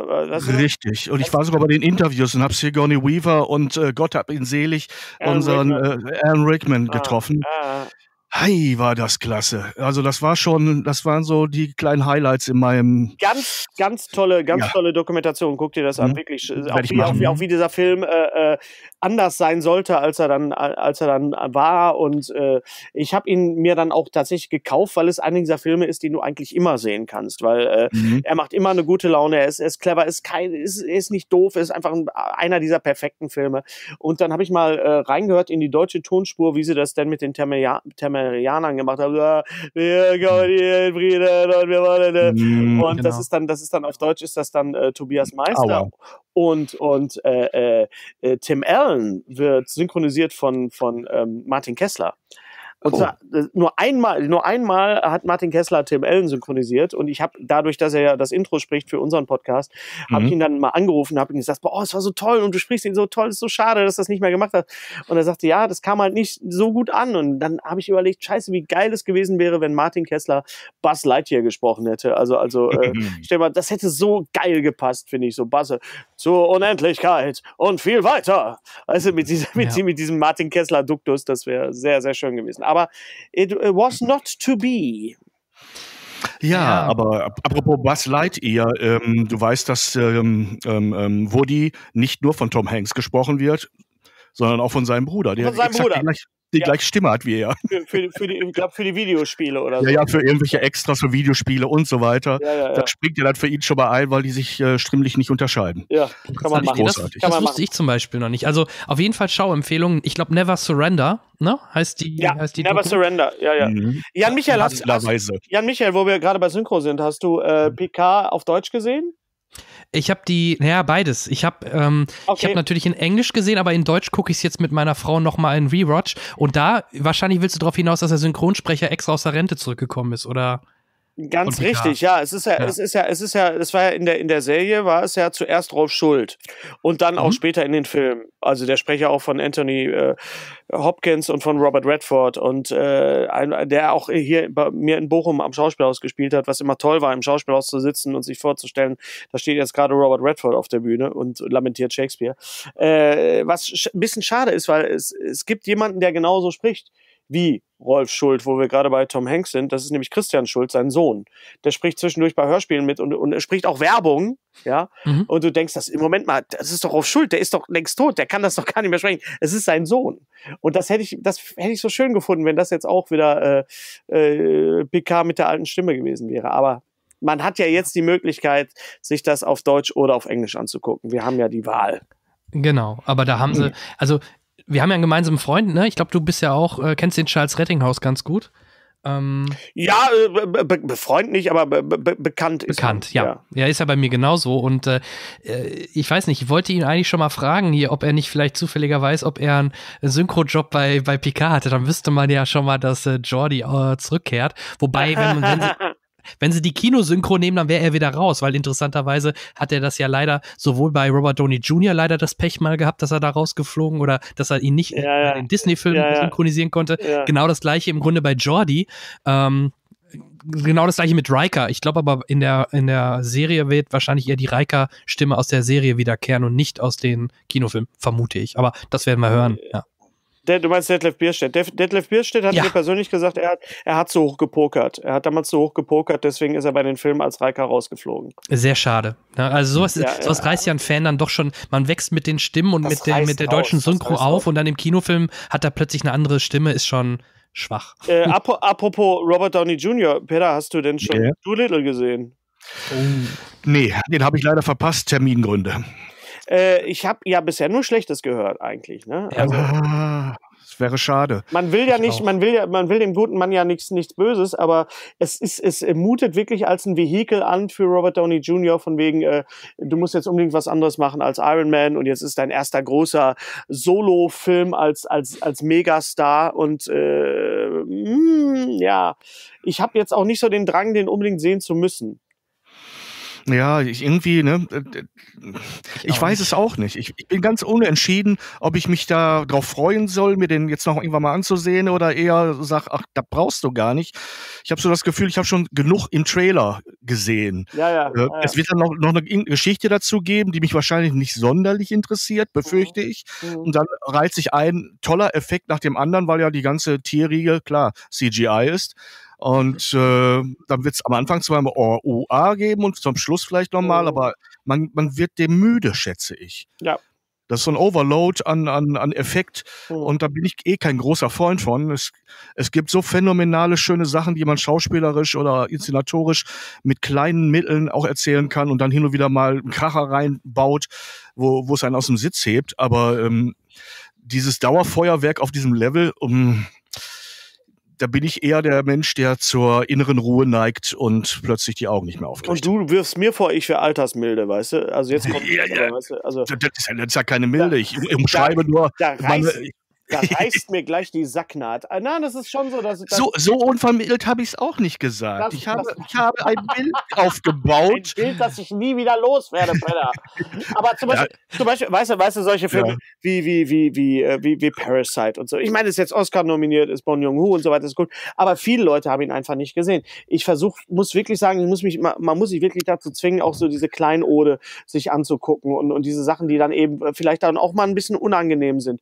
Und dann äh, aber der ist doch unterhaltsam ohne Ende. Da muss man doch gar nicht so auf die, fast nicht mal die Qualität erwähnen. Der Film ist unterhaltsam. Ja, ist er, ist er auch. Aber dadurch, dass Robert Downey Jr. nicht mitspielt, äh, gehen halt auch ja. nicht so viele Leute rein. Ich habe äh, zum ja. Beispiel auch Peanut Butter Falcon gesehen. Der war auch ganz, Hammer, ne? ganz toll, ganz toller Film. Super schön auch. Ja. Literarisch, episch aufgeladen, toll schön. erzählt. Die, die, die, und selbst, ähm, ähm, ja, Gott, meine Namenskenntnisse sind ja grausam. Shia LaBeouf. Shia LaBeouf, danke. Shia, Shia LaBeouf. LaBeouf Stroganoff, ja. Eben, ist, ist äh, sowas phänomenal in diesem Film. Ja. Äh, ähm, Madame äh, Dingsbums, ach du weißt doch schon, jetzt ja, mach ja. mich doch nicht fertig. Auch klasse, die, dieses Trio ist einfach super besetzt. Und Zack sowieso, der frisst die Herzen der Zuschauer, Absolut. als wenn das nichts wäre. Ja, ja, ja. Und dann ist das Ganze wirklich nach einer Odyssee im klassischsten Sinne, wie man es besser kaum sehen kann. Die Rednecks als, ich weiß nicht, was für eine Art von Bedrohung, Zyklopen. Ja, mehr als ein Auge könnte ich doch gar nicht haben. Ähm, aber es ist doch, und dann eben diese Illusion, die dann zum Schluss äh, sich, sich mit diesem alten Wrestler eigentlich erst auflöst und dann doch erfüllt. Ne? Ja, aber auch sehr schön von wegen Wrestler war Fighting with My Family. Das war auch ja. ganz fantastisch, ja. Ja, also es, es sind so die, eigentlich die kleinen Filme, die uns doch viel mehr geben, als, als die, wo du von vornherein am Plakat schon darauf aufmerksam gemacht wirst, ähm, wir geben euch jetzt alles, was teuer war. Mhm. Hm, das ist selten wirklich so, dass die dann diesen Anspruch und dieses Versprechen auch einlösen können. Ja. Mhm. Bevor Außer es ist unvermeidbar. Ja. Be bevor wir zu meinem ja. Interview-Part kommen, ich hätte noch eine Frage. Ähm, ich glaube, vorzugsweise an Hennes. Ich glaube, Peter, du hast es nicht gesehen. Ähm, es geht um Apple Plus und ähm, ich habe dort, mhm, ich habe Apple Plus raus. mal testesweise, äh, testeshalber ausprobiert und ähm, ich kann The Morning Show sehr empfehlen mit Steve Carell, MeToo-Debatte, mhm. Jennifer Aniston. Aniston also ja. wirklich sehr, sehr gut gemacht. So ein bisschen Newsroom, so ein bisschen ähm, ja, also echt empfehlenswert, hoch, hochqualitativ und macht sehr und ist sehr unterhaltsam und macht Spaß. So, dann gibt's da ja noch eine zweite und eine dritte Serie. Die dritte ist äh, C, habe ich nicht gesehen mit Jason Momoa, kann ich nicht so sagen. Ja, ja. Ja. Aber er hat sie auch ja nicht gesehen, weil er, er hat sie auch nicht gesehen, weil er blind ist in der Serie. Korrekt, richtig. Entschuldigung, auch, Entschuldigung, Entschuldigung, Entschuldigung. Ja. Das heißt sehbehindert, Mann. ja, ja, ja, ja. Ähm, deswegen, der hat auch ein Problem, wenn der plötzlich in, am Set oder wenn er plötzlich in die Filmwelt von A Quiet Place 2 eintaucht, dann wird er nicht lange da überleben, wenn er da blind durch die Gegend läuft und äh, Lärm macht, ne? Dann kommen sofort die, ja. die Monster an. Ja, ja. Ähm, Nee, worauf ich hinaus wollte, ist noch die, die weitere Serie, die die dort haben. Und da wundert mich ein bisschen oder würde mich mal interessieren, Hennes, ob das nicht was wäre für dich, nämlich For All Mankind. Die äh, Sci-Fi-Serie, die sie dort äh, zeigen, die von Ronald D. Moore produziert wird. Der hoffentlich einigen was sagt, nämlich der hat äh, Deep Space Nine quasi groß gemacht und Battlestar Galactica. Mhm. Ja? Es und britzelt ähm, hier gerade so ein bisschen. Ja, ich höre auch so ein Gebritzel. Jetzt geht's aber was? wieder. Echt? Ich höre Können Sie mich so hören? Ich, ich ja. Äh, also ich, um auf deine Frage zurückzukommen, ich habe Apple Plus nicht, weil ich jetzt ähm, für, für, Disney Plus spare. okay, verstehe. ähm, die fangen auch äh, ja, an. aber ja. Ja, ich weiß, aber ich weiß nur, dass bei Apple Plus halt noch nicht so viel angeboten wird. Äh, was ich noch sehr, was ich noch sehr interessant finde bei, bei, bei Apple Plus ist die Serie mit Haley Steinfeld, ähm, die ich auch, äh, muss ich, äh, auch wenn ich jetzt wie ein alter sabberner Sack äh, klinge, die ich einfach liebe. Äh, ich meine, ich meine Bumblebee, ich meine, wow, oh Gott, war das ein süßer, toller Film. Es, es gibt ein, es gibt einen guten Transformers-Film. Das ist wirklich, ich fand den absolut hinreißend und äh, äh, auch in, in, in, in, ähm, in diesem wunderbaren Film Edge of Seventeen ist sie auch ganz fantastisch. Das ist ja quasi der John Hughes-Film, den John Hughes nie drehen konnte. ähm, und äh, ja, dann ist halt die Frage, was kaufe ich mir jetzt noch alles an Sendern und, und, und Serien noch alles noch dazu, damit ich irgendwie glücklich werde? Das ist halt, ne, ist auch eine Geldfrage. Ja. Aber kleiner Tipp, ähm, dadurch, wie du gerade schon sagst, die haben noch nicht so viel im Angebot. Und wenn du jetzt For All Mankind, die Serie, wo quasi die Russen zuerst auf dem Mond waren, ähm, gucken möchtest, vielleicht um plus Morning Show und plus vielleicht noch eine dritte, vielleicht reicht da ein Monat und einen Monat kannst du kostenlos testen. Also da kannst du ja auch monatlich gut. kündigen. Also da tut nicht weh und man kann wenigstens die ein, zwei oder drei Serien, die man dort vielleicht äh, gerne mal durchbingen möchte, einmal ein, durchgucken. Ein, ne? guter, ein guter Plan. Also man nimmt sich eine Woche Urlaub und guckt mal eine Woche Apple Plus. Naja, gut, du willst ja eine Folge oder du guckst ja mindestens eine Folge pro Tag. Dann hast du ja eigentlich schon genug Zeit, um äh, ein, zwei ja, Serien. Aber, also pass auf, wenn es um eine Serie geht, die binge ich schon mal durch. Ne? Also da bin ich ja, schon mal, ne? ne? da, da, also da, da wachse ich über mich hinaus, was nicht so schwer ja. ist. Sandmännchen. Die ersten drei Staffeln am Stück. ähm, ah. Nee, da gucke ich ja immer, das habe ich dir auch schon mal geschrieben. Wir gucken ja natürlich durch die Kinder bedingt immer ähm, Sandmännchen und halt auch dieses Jan und Henry. Da hat ja immer Hennes immer noch sein, sein Paradeauftritt als Müllmann. Lustigerweise haben meine Söhne so gesagt, das, wären de, das wäre deren Lieblingsfolge. Oh, wie schön, ohne dass sie mich kennen. Aber das ist ohne, das, dass sie dich kennen, ja. Es wird selten auf, auf äh, sowas so oft, ange, so, so oft angesprochen wie, wie auf, der, auf meinen Auftritt als Müllmann. Das ist, äh, das muss so, vor allen Dingen, wenn es dann wiederholt wird, werde ich dauernd angesprochen in irgendwelchen Läden. Sie sind doch der Müllmann. Ich so, ja, äh, ich habe das mal vor zehn Jahren gespielt, mhm. einen, einen Vormittag und so und, und äh, ja. dass, dass, dass, äh, dass, ich, dass ich damit in die, in die Annalen der Popkultur eingehe, mhm. das äh, war mir nicht bewusst. du musst direkt und sagen, nennen Sie mich Clean. Cleaner. ich bin der Cleaner, genau. Ja, ich ja. mache hier sauber, ja, genau. Ja, sehr schön. ja, ähm, ähm, wie kann man denn da hin? Ja, genau. Also Apple Plus, wie gesagt, ähm, ähm, ja, für die zwei Serien würde ich sagen, lohnt es sich. Ähm, ich habe noch eine weitere Serie gesehen, auch ähm, über oh. Amazon vorab, die ersten fünf Folgen.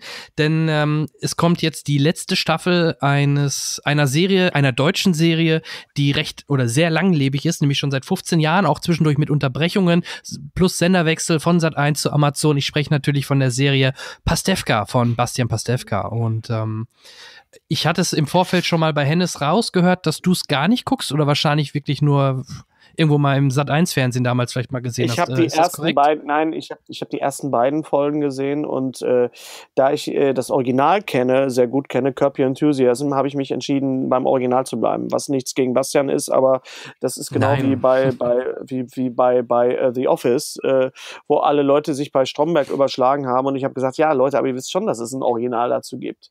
Äh, ist ähnlich wie mit, wie mit, wie mit Shameless, ne? wo Leute sagen, ja, das, ich sage, ja, das ist eine englische Serie. Also das ist, also da, mhm. da war ich so, so ein bisschen, äh, es ist gut adaptiert, sag ich mal. Also das, Und, aber deswegen ja. muss ich mir die Kopie nicht angucken, wenn ich das Original habe. Jein, also die Denk kopieren ja nachher nicht Folge für Folge. Am Anfang sicherlich ähm, das nicht, ist es sehr nah dran. Selbst nicht, die Musik ist sehr nah dran, meiner Meinung nach, am Anfang. Aber die, die, die Musik ist, ja schon ihre eigene DNA, ne? Ja, das, das glaube ich auch, aber ich habe es dann irgendwie auch nicht gesehen. Das ist aber auch so ein bisschen, ich bin da auch ein bisschen berufsblind, weil äh, ich gucke mir auch keine Comedy-Programme an von irgendwelchen Leuten oder, oder Kollegen. Es ist sehr, sehr selten, dass ich mal zum Kollegen in eine Show gehe. Das mhm. ist wirklich eine Riesenausnahme. Und wenn, dann gucke ich mir an, wie es gemacht ist. Wie das Licht gesetzt ist, wie die Kamera. Äh, aber richtig genießen kann ich das nicht. Das ist für mich eher so, ja, Hausaufgaben machen. Und das möchte ich in meinem Alter nicht mehr machen müssen. Und Jerks? Jerks fand ich furchtbar. Jerks habe ich, habe ich, ich habe Jerks im, im, im Zug gesehen und habe mhm. gedacht so, ja, ihr macht das, was Ricky Gervais macht und zwar eins zu eins ohne, ja. ohne einen eigenen, ohne einen eigenen Ansatz, ohne was. Und ihr wollt nur, äh, euch geht es nur um die Agitation und es ist kein Herz dabei. Wenn du dir Office anguckst, äh, die, die letzte Folge und so weiter, wo dann alles wirklich zu Ende geführt wird, wo du einfach merkst, ah, da hatte jemand eine Idee und wollte nur nicht was machen, um äh, äh, wir, wir haben eine lustige Idee, wir haben eine lustige Prämisse, sondern ich finde, man, man, man stiehlt den Zuschauern ja auch äh, Lebenszeit und die möchte ich ja auch äh, gut investieren als, als, als Konsument und wenn dann am Ende rauskommt, es, es ging um nichts anderes als, als den Lauten zu machen und, und rumzublöken, dann, äh, nee, also Jerks hat mir überhaupt nicht gefallen. Fand ich richtig okay. kacke. auch mal eine, eine Meinung, die, glaube ich, nicht so viele teilen. Ich weiß nicht, wie es in deinem Umfeld ist. Also ich kenne sehr, sehr viele in meinem Kosmos, die äh, Jerks sehr, sehr feiern, weil es halt auch ähnlich wie bei Pastewka, sie spielen in Anführungsstrichen sich selber und für viele ist es halt einfach nur noch mal eine Nummer derber, ne, als Pastewka zum Beispiel. Ja, aber wie gesagt, dadurch, dass ich, dass man jetzt auch wirklich Zugriff auf die ganzen Originale hat oder auf, auf sowas wie, wie It's Always Sunny in Philadelphia oder auf äh, die ganzen englischen Formate, die es gibt. Äh, das ist ein, äh, eine, ein groß, eine große Ausnahme bei deutschen Formaten war für mich in den letzten Jahren einfach der Tatortreiniger. Äh, oh ja. Und äh, ja. das, das war für mich einfach ein ganz, ganz weiter Wurf und ganz groß und, und Feldhusen, der ja auch äh, Stromberg gemacht hat und, und auch, auch Kinofilme und so weiter und, und, und, und Mädel auch aus, aus äh, Stromberg, äh, die, die haben sich da so ein bisschen freigeschwommen. Die haben gesagt, wir machen jetzt mal was ganz Eigenes, was ganz Alleines und, und äh, was Originäres, äh, blöder Begriff, aber ist so. Und äh, das, das hat mir sehr gut gefallen. Da hat mir jede Folge, habe ich jede Folge hart abgefeiert. Mhm. Okay. Okay, also wie gesagt, Pastewka ähm, startet am Freitag, wenn ihr das hört, wahrscheinlich genau heute mit den letzten zehn Folgen der finalen Staffel. Also im Gegensatz, ich habe das mal so mal Resümee ähm, für mich so ein Resümee gezogen. Die ersten sieben Staffeln noch zu Sat 1 Zeiten, da hatten die natürlich den riesen Vorteil, dass die einfach ihre ganzen Leute, die sie unter Vertrag haben, in die Serie reinbauen könnten. Egal ob Martin Schneider, Oliver Kalkofe, und, und, und. Selbst ein Oliver Pocher taucht dort mal auf in der, in der Serie. Ähm, und ab Amazon merkt man halt deutlich, dass diese Connections halt mehr fehlen. Man hat zwar noch einen Hugo Egon Balder, einen Michael Kessler und eine Anke Engelke mit drin, aber das war's dann auch. Also sie setzen in den Staffeln zu Amazon-Zeiten deutlich mehr den Fokus auf das Familiäre ähm, und auf die Beziehungen. Also so wie sie es leider oder manchmal auch häufig bei so Sitcoms machen. Ich fand auch bei Big Bang, am Anfang war viel noch Nerdkram und irgendwann ging es nur noch in diese Beziehungsschiene. Ähnlich machen sie es halt bei Pastewka. Das ist halt jetzt im Endeffekt gerade auch in der letzten Staffel um das Finale der, der Beziehung zwischen Pastewka und seiner äh, Frau äh, Frau Leifert übrigens, ähm, ähm, ja, um, um die beiden geht es da halt dann vor allem im Fokus. Und ähm, ich habe die ersten fünf Folgen gesehen und ähm, freue mich schon auf die nächsten fünf. Ähm, hoffe, dass sie ein schönes, rundes Ende hinkriegen, was ich auch glaube. Und in dem Zuge hatte ich die Möglichkeit, ein kleines Interview zu führen mit der lieben Sabine Vitua, die die Managerin Regine spielt, die immer ein bisschen ähm, auf Alkohol ist. Sie wird uns gleich auch verraten, was sie so gerne trinkt. Und ähm, ja, ich würde vorschlagen, wir hören jetzt einfach mal in das Interview rein und äh, hören uns danach wieder. Bis gleich. Regine, Fernsehen ist over. Ich habe mich verändert. Ich bin ein neuer Mensch. Ich bin inzwischen ja kein Schauspieler mehr, sondern Autor. Hm. Du hast doch brav unterschrieben. Und Bitte! Es geht! Es geht! So! Ja, ja, ja. Ja, ich flippe aus hier! Sie! Sie Bestie! Ich hatte die Sache gerade im Griff. Das ist ja eine riesen emotionale Soße, die da auf dich einplätschert. Ich wäre genauso entsetzt. Bin ich entsetzt? Eben, und deshalb lass es sacken. Um Gottes Willen, lass es sacken. So, liebe Zuhörer, jetzt habe ich einen wunderbaren Gast in der anderen Leitung. Wenn ich das richtig in Erinnerung habe, äh, sitzt meine jetzt ähm, liebreizende Sabine Vitua in Berlin, richtig? Ja. Genau, ich glaube, ihr habt heute Abend noch eine Premiere, ist das auch richtig? ja, und was für eine? Ja, ähm, erzähl mal ein bisschen erstmal, ähm, was erwartet euch oder den Zuschauern heute Abend? Ähm, worüber reden wir denn gleich? Also es ist Pastewka, ne? Also ähm, wir, mhm. wir sind Pastewka, ich bin ein Teil von Pastewka äh, und wir haben heute die Premiere unserer zehnten und finalen Staffel und wir lassen uns feiern, dass es kracht. Oder bis es kracht. Ja. Also machst du das so wie in deiner wie in der Serie auch, oder? Ja, nat, nat, eigentlich ist es, ist es für mich ist es wie immer. Ich sehe ähm, gut aus, ich werde gut gestylt, ich, ich werde trinken und ich werde mhm. ähm, meinen eigenen Film fahren und ähm, und die anderen werden vier Folgen sehen. und ähm, ja, die ersten vier Folgen werden gezeigt. Und wir haben die schon gesehen bei der Pressekonferenz, Gott sei Dank. Also ähm, und das Ganze ist in diesem wundervollen Zoopalast. Dieses Kino finde ich ja göttlich. Und ja, und dann werden wir ähm, das gucken mit, weiß gar nicht, wie viele Leute gehen da rein? 800? 400? 500? Keine Ahnung. Und dann werden wir ähm, das, glaube ich, sehr genießen. Und äh, wir gehen dann auf die Bühne, wir werden noch ein bisschen gefragt und dann geht es wirklich zur richtigen Feier, wo dann nur noch getrunken wird und sich amüsiert wird. Wunderbar. Das habt ihr euch ja auch verdient. Nach jetzt 15 Jahren, 10 ja. Staffeln, ich glaube im im, ähm, im Umfeld, so im deutsche Comedy-Umfeld ist das nicht äh, gang und gäbe, vor allem diese lange Laufzeit ne? und bei der hohen Qualität. Ja. Also ich habe sowas ähm, auch noch nicht erlebt. Also höchstens mal so zwei, drei Staffeln oder sowas. Aber zehn Staffeln und so lange und dann mit so tollen Menschen, schön. Wirklich schön. Aber ja. ich, also ich bin mal gespannt, so Gefühle kann man ja immer nicht so, die sind ja nicht berechenbar. Die große Trauer hatten wir natürlich, als wir als wir da aufgehört haben. Also die ganze zehnte Staffel war schon sehr belastet. Also, weil man wusste, das ist jetzt das Ende, ne? Das ist schon komisch. Oh ja, ja. Ja, durch äh, dank Amazon hatte ich auch schon die Möglichkeit, mir die ersten fünf Folgen anzuschauen. Oh wow. Und ähm, ich weiß nicht, du hast wahrscheinlich die Staffel schon komplett sehen dürfen. Nein, können, Nick, überhaupt nicht. Nein. Ich bin ganz. Ach, überhaupt nicht. Nein, überhaupt nicht. Ich habe tatsächlich auch die, naja, ich habe sogar erst nur die ersten drei gesehen. Also ich habe ah, okay. Bücher natürlich und ähm, also auch von den anderen. Und ähm, ja, aber ich habe nichts gesehen. Ich bin gespannt wie Flitzebogen. Also am siebten ist es, ne? Am siebten kann man endlich gucken. Genau, richtig. Ähm, apropos, weil da wollte ich jetzt drauf hinaus, du hast es auch versucht, äh, in einem Parkhaus ein Auto rauszubekommen. So will ich es mal äh, umschreiben, ohne dort irgendwelche Story-Elemente zu verraten. Hast du das im realen Leben auch schon mal ausprobiert? Nein. Nein, das habe ich. Da bin ich ähm, äh, vor allem auch nicht so und ähm, sagen wir mal, meine ähm, kriminelle Energie ist, ähm, also ich bin nicht so fantasievoll wie Regine, muss ich mal sagen. Ich, deshalb wird ja, sie mir sehr fehlen. Sie ist doch sehr viel spannender, als ich es bin. Ja.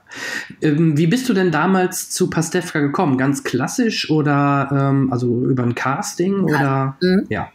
Casting. Damals okay. war es noch so, ja, also wurde, wurde ausgewählt und dann werden ja, kommen ja die drei Finalistinnen sozusagen dann werden gecastet. Und dann bin ich's geworden. Eigentlich ziemlich schnell. Und ich dachte noch, dass ähm, das ist nicht meins, das Tempo ist mir zu hoch. Aber ich habe mich dran gewöhnt. Sehr schön. Und ähm, gerade die Änderung jetzt äh, nach Staffel 7 zwischen ja. Sat1 und Amazon, mhm. hast du da vom, bei der Produktion große Unterschiede mitbekommen? Lief es genauso ab? Oder ja, erzähl mal ein bisschen aus dem Nähkästchen. Gab es da große Veränderungen in dem Bereich? Also äh, das kann ich eigentlich nicht so sagen, weil ich war, hatte auch nicht das Gefühl, ähm, dass wir vorher so, dass die Redaktion uns sehr auf den Füßen gestanden hat sozusagen. Also wir hatten eigentlich immer immer viel Freiheit. Das war, die Erzählweise hat sich natürlich verändert und das, dadurch ist das natürlich auch moderner geworden, dass diese horizontale ja. ähm, Erzählweise. Und ähm, nein, es war sehr eigentlich wie immer, das hat was mit Bastian zu tun, sehr, sehr angenehm, muss ich sagen. Also ähm, wir hatten also angenehm, also wir hatten manchmal schon ein bisschen, also das Tempo, in dem wir arbeiten müssen, das ist schon ähm, halsbrecherisch, um das mal vornehm auszudrücken. Ne? Also, aber aber jetzt wurde ein bisschen, ich glaube, wir haben sogar einen halben Tag pro Folge oder so haben wir mehr bekommen und das hat man sehr stark gemerkt. Also war, wurde, es war entspannter. Ne, dass man. Okay, verstehe. ja. ähm, Hast du denn, also was mir aufgefallen ist, ähm, natürlich zu Sat 1 Zeiten hatte man natürlich eher die Möglichkeiten, die Kollegen aus den Sat 1 Sendungen dort zuzuholen. Also ich fand ja, die, stimmt, die ja. Dichte an, an Schauspielern war da damals sehr, sehr hoch. Also ob ein Oliver Kalkofe, mhm. Martin Schneider und Co., da waren ja wirklich sehr, sehr viele Gäste da, was mhm. natürlich zu deiner Rolle passte als Agentin. Mhm. Ähm, was vielleicht ein bisschen gefühlt bei Amazon ein bisschen zurückgegangen ist, weil man natürlich ja, jetzt nicht mehr die Connections in die Richtung hatte, ne? Ja, wobei natürlich irgendwie sind ja die, die wunderbare Anke ist ja geblieben und der, und der, der Kessler ist geblieben und hier Hugo, ne? Also äh, genau, genau, ja, richtig. Die sind so, die sind so, so, so geblieben. Mhm. Ja, ist auch gut so. Aber ich finde das eigentlich, also ich muss sagen, nun gehöre ich ja leider gar nicht richtig zur Familie, muss man ja mal sagen. Ich bin ja nur die Arbeitswelt. Was heißt nur? Ich bin die Arbeitswelt. ähm, aber, aber beim Gucken ging es mir so, dass mich das hauptsächlich interessiert hat, was, was familiär da stattfindet. Also auch wenn es, wenn man es schnell runterbrechen kann, kriegt er sie nun oder kriegt er sie nicht, kommen sie wieder zusammen oder kommen sie nicht zusammen. Äh, trotzdem hat mich das sehr interessiert. Also ähm, die Konstellation mit dem bescheuerten Bruder und der aggressiven Frau Bruck. Also das fand ich schon sehr schön. Ja, super. Ja, absolut. Und da, da, sehe ich halt die größten Unterschiede, weil ja, was früher stimmt. vor allem dann halt durch Gaststars ne? aufgefüllt worden ist. Ne? Ja, das, das stimmt. Das finde ich auch. Ja. Ich habe ja immer gehofft, aber ich habe es nicht geschafft. Auf eine, ich wollte immer mal zu der Hochzeit oder zu der Taufe, aber ich werde nicht eingeladen. Frechheit, verstehe ich gar nicht. Wahnsinn. auch, finde ich auch. Genau, und unser gemeinsamer Freund hatte damals auch einen äh, Gastauftritt. Der ja, Charles genau. hat mal ja einen Taxifahrer gespielt. Genau. Ja, fand ich, fand ich auch sehr schön. Und äh, ja, äh, wenn du auf der Straße angesprochen wirst, ist das dann meist auch wegen dieser Rolle oder äh, sagst du, nee, du wirst eher angesprochen, weil du mal bei Einfall für zwei oder bei einem anderen, einen der anderen Serien mitgespielt hast? Nee, es ist, also es ist schon hauptsächlich Pastewka. Also ähm, es macht mir auch am meisten Spaß, muss ich sagen. Ähm, vor allem wenn so eine Horde so, ähm, so Jugendlicher sagen, ey, das ist Regine, die ist cool. das ist schön, da freue ich mich. Jetzt ist übrigens der Bildschirm schwarz. Ja. Hat das irgendwas zu bedeuten? Nö, ne? Äh, beweg mal äh, die Maus, wenn da eine vorhanden ist. Ja, ja, ja, wahrscheinlich ist das. Ja, genau. genau sonst geht halt der Bildschirmschoner äh, oder irgendwann geht das Notebook aus. Okay. Das man. Nee, also da, nein, ich, da, da freue ich mich immer, klar. Mhm. Ja, jetzt, wie gesagt, steht bald auch dann das Ende äh, voraus. Ich äh, vermute, wie du gerade schon andeutest, es, es ist natürlich ein, ein, ja, ja, immer ein bisschen traurig, weil damit auch nach 15 Jahren so, so ein Lebensabschnitt zu Ende mhm. geht. Naja, vielleicht hat man ja mal Hoffnung, vielleicht auf ein Revival, vielleicht ein, ihr, habt, ihr habt mal einen Film gemacht, ne? Diesen Weihnacht, diese Weihnachtsvariante, ja, die genau. Weihnachtsgeschichte. Genau. genau dass, ja. ähm, dass sowas dann auch mal kommt. Ja, das ist ja, wie heißt es, die Hoffnung stirbt zuletzt irgendwie. Kriegen wir den schon wieder rum? Ja, nein, ich weiß es nicht. Aber es, also jetzt ist es noch alles sehr frisch. Aber ich, ich würde mich freuen, wenn wir natürlich noch mal zusammenkommen. Aber auch nur, also bei den Weihnachtsfilmen bin ich mal wenigstens auch eingeladen worden. Also jetzt mal. Ähm, Richtig, stimmt. Gedacht, jetzt, wo du ne? sagst, da warst du ja sogar eingeladen. Ja, ja das letzte, einzige und let, letzte Mal. ich habe mich anscheinend nicht gut gemacht, keine Ahnung. Ähm, ja. Nee, aber ich, ähm, wir sind ja auch, ähm, das ist ja auch bekannt, wir sind ja ganz auch befreundet. Wir, wir, wir sehen uns ja auch außerhalb der Drehzeiten. Also die, ja, das, das macht viel aus. Das merkt man aber auch bei der Chemie oder wie ja. ihr miteinander spielt. Also ja. das, das merkt man und das ist auch angenehm zu sehen. Ja, ne? Ja, ich finde auch. Ja, ist richtig schlimm. Ähm, hast du eine Lieblingsfolge? Ja, ich mag ja tatsächlich wahrscheinlich, äh, ich mag den Anfang wahnsinnig gern. Also die erste, die allererste Folge, pff, da kommt gar nicht weiter vor, aber die mag ich unglaublich gerne. Also, ähm, weil da ist es alles noch so ein bisschen holprig und das gefällt mir ganz gut. Das ist noch nicht so Ja. perfekt. Und ähm, Also die allererste Folge der ersten Staffel meinst du, ja?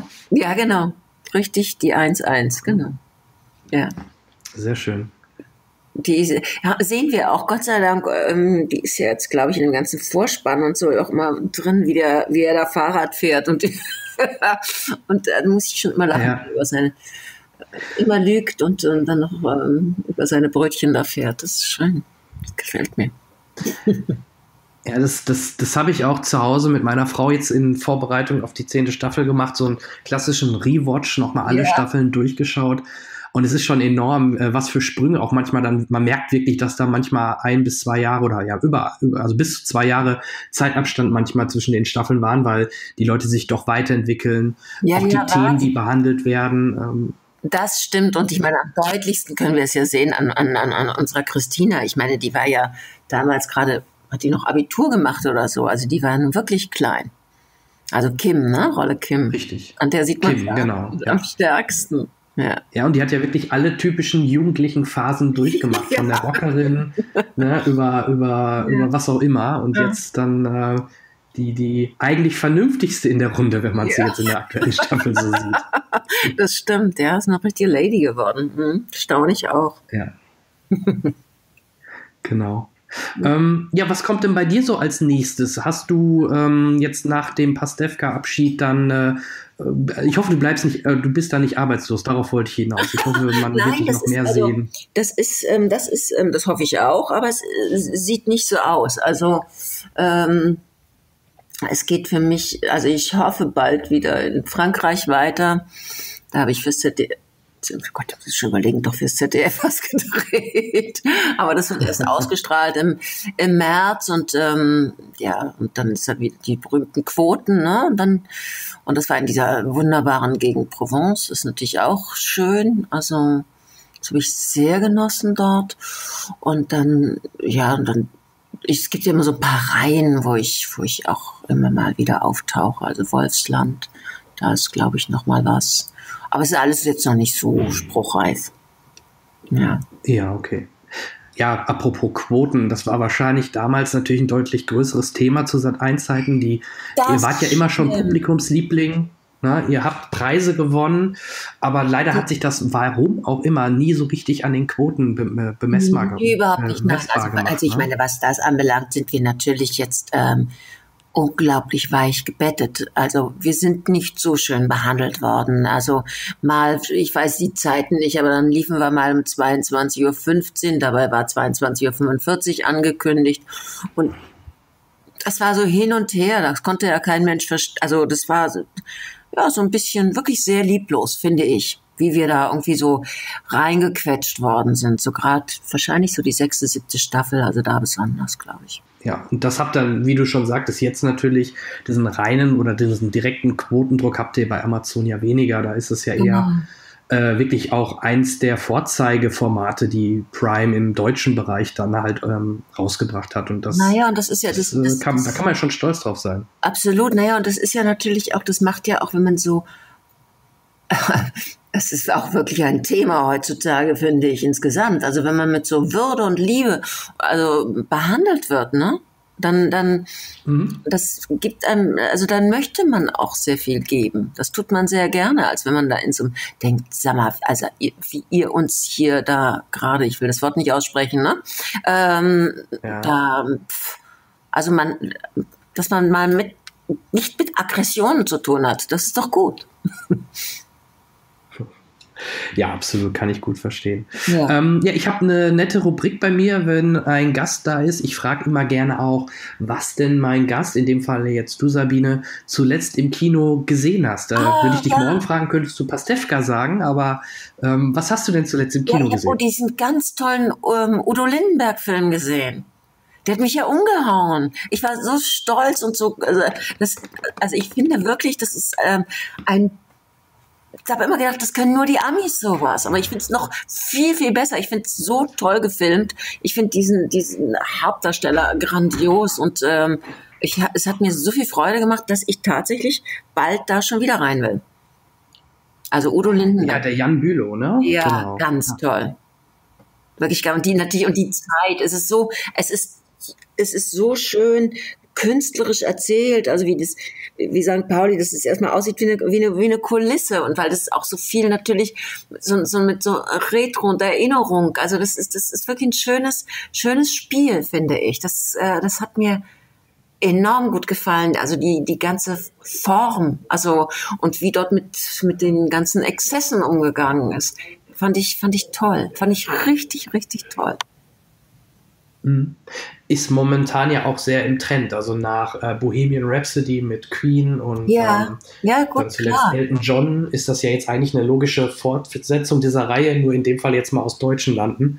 Und ähm, ja, wer würde da besser passen als Udo Lindenberg wahrscheinlich, ja? Ja, ja, das stimmt. Ach, wir würden noch, eigentlich, wenn man schon bei der Zeit ist, kann man auch bei Marius Müller-Westernhagen, kann man doch auch noch was machen. Man könnte die alle ausgraben. Äh, mit Sicherheit, mit Sicherheit, ja. Also da würden sich, würde sich die Musik über Sexy ja, und, und was, auch immer, würde sich sehr gut anbieten. Könnte, ja, ja finde ich, finde ich auch. Ja. Rio Reiser müsste man dringend ein Porträt machen. Ja. Aber ja, irgendwann natürlich könnte man auch Herbert, Herbert Grönemeyer nehmen. Ja, er hat genau, natürlich in seinem Leben auch viel erlebt. Das, das würde stimmt. schon passen. Ja, da finden wir schon eine ganze Menge. Nein, aber da war ich wirklich sehr begeistert. Schön, toll. Mhm. Ja, sehr gut. Und ähm, vielleicht zum Abschluss, äh, du sagtest ja gerade schon, dann heute Abend wird auch angestoßen. Mhm. Was ist denn von dir, Schrägstrich, deiner Rolle, Regine, der Lieblingsdrink? Die sind sehr unterschiedlich, weil ich, ich kann ähm, Cocktails absolut nicht ausstellen. Okay. Und ähm, wobei es gibt eine einzige Ausnahme, das ist tatsächlich ein Campari Spritz. Und dieses vor allem, was Regine da trinken muss, seitdem dieser Automat da steht. Das heißt, das ist ja logischerweise ist das kein Alkohol, aber das ist pappsüß, dieses Zeug. Ähm, das heißt, ich kann anschließend kaum noch sprechen, vor allem wenn was Grünes dabei ist. Ich hab's gehasst. Ich bin so froh, dieses Jahr, also in dieser Staffel hat es sich ja ein bisschen durchgesetzt, dass ich wieder auf die harten Getränke gehe, weil das ist dann einfach Tee oder sowas, ne? Dann spricht sich mhm. leichter, da ist man nicht so verklebt, ja. Also ich kann alles, was süß ist, überhaupt nicht ausstehen. Also außer jetzt Schokolade, aber in Drinks mag ich das nicht. Also ich selber bin liebes Champagner und, ähm, mhm. und, und Cremant. Also alles, was so ein bisschen prickelt, mag ich gern. Und ansonsten bin ich der absolute Weißweintrinker. Also. Okay. Also und harte Sachen Nö, mag ich eigentlich gar nicht. Ach, kriegt da Durst, wenn wir darüber Muss reden. ja auch nicht sein. ja, ich denke mal, so lange hast du ja nicht mehr. naja, wollen wir mal den Anfang zumindest mal nüchtern machen, ne? ja, genau. Ja, dann danke ich dir für deine Zeit und für das offene Gespräch. Ich äh, wünsche dir heute Abend viel Spaß mit, äh, mit den ganzen Kollegen zusammen und äh, ja, auf eine schöne Premiere und eine schöne Feier danach. Dankeschön. Also. Tschüss. So, da sind wir wieder. Ähm, übrigens, kleiner Nachtrag: In dem Interview sprach ich von einem gemeinsamen Bekannten. Das ist, ähnlich wie vorhin auch im Podcast, der Charles Rettinghaus, der mal als Taxifahrer in der Serie auftauchte, der die Sabine auch ganz gut kennt. Äh, kennt und ähm, das war quasi die Schnittstelle damals. Ähm, Charles hat übrigens, äh, ganz kurz, mhm. Charles hat übrigens einen, einen wunderbaren Film äh, synchronisiert. Er ist ja nicht nur Synchronsprecher, sondern auch ein sehr guter Synchronregisseur. Ähm, und zwar den Film Mein Leben als Zucchini.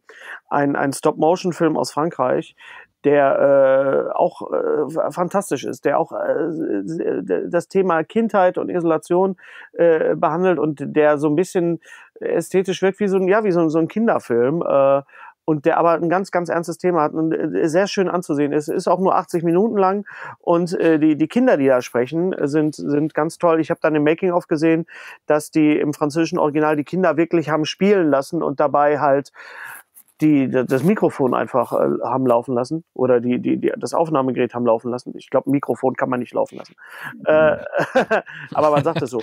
Naja, und es ist halt einfach sehr, sehr, sehr kongenial synchronisiert und äh, ich dachte so, ah, das ist ja toll, wie sie das mit den deutschen Kindern gemacht haben. Ich bin natürlich auch sehr synchronaffin und dann habe ich gesehen, äh, dass, dass Charles das äh, synchronisiert hat und äh, habe ihm sofort geschrieben und habe hab geschrieben, ah, das hast du total toll gemacht und dann, äh, ich glaube, für, für Leute, die im Synchron Synchronbereich arbeiten, ist es auch toll, dass sie mal auch so eine Rückmeldung kriegen, zu sagen so, hör mal, man, das ist gut, dass ihr gemacht habt. Der, der Großteil der Leute nimmt es nicht wahr als Arbeit oder als, als wirkliche, mhm. als wirklichen Effort, als, als wirklichen, als wirkliche Leistung.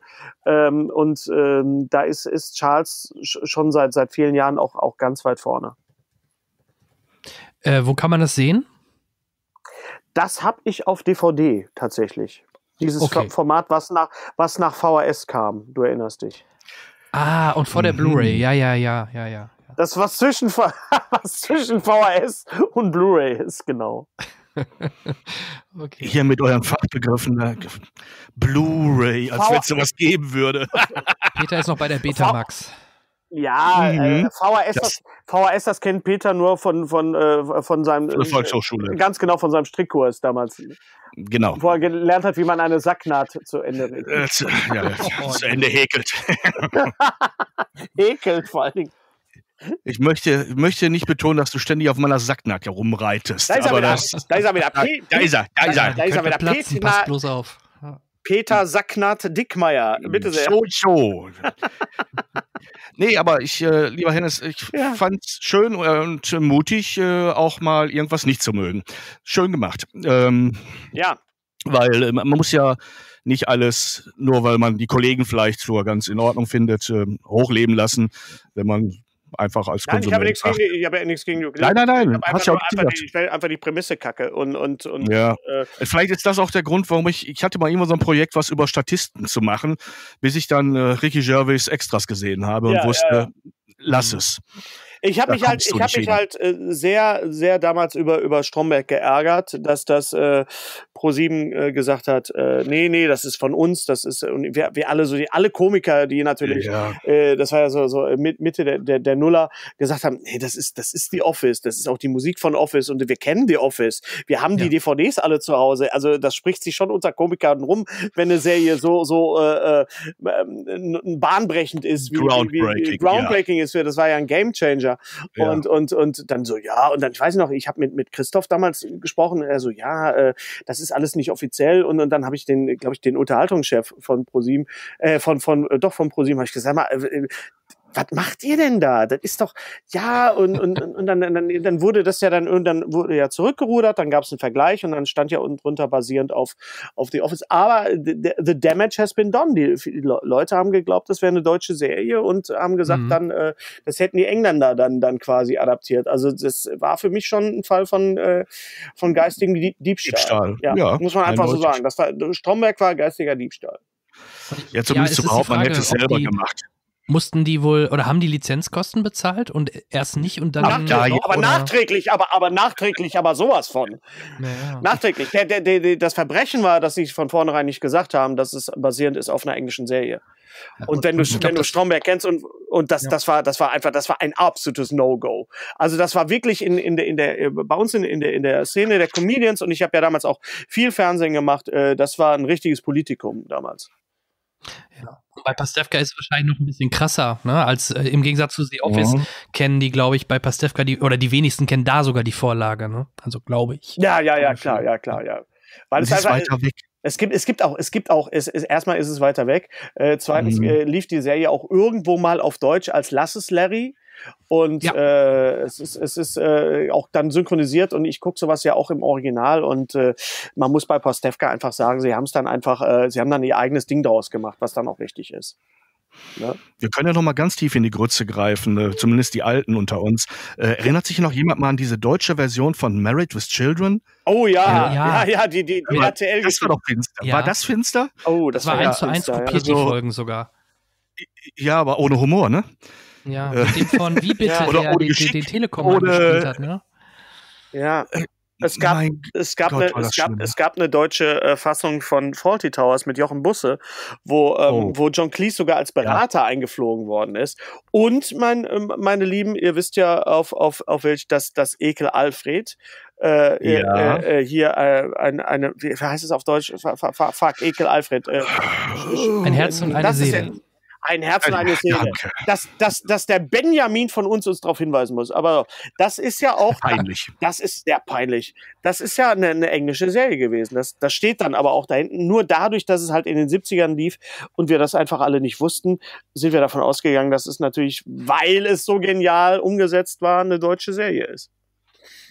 Man mhm. kann das machen, man muss es nur, ich finde, man muss es nur sagen. Man muss nur sagen, pass auf, das ist jetzt die deutsche Version von so und so. Wäre fair, ne? Das ja. wäre den Autoren und den, den geistigen Vätern durchaus fair. Hm. Okay, wollen wir noch eine kleine Zeitreise machen zum Abschluss? Gerne. Oh, Zeitreisen sind toll. Du, ja. aber mein Fluxkompensator ist gerade in der Reparatur. Was mache ich denn dann?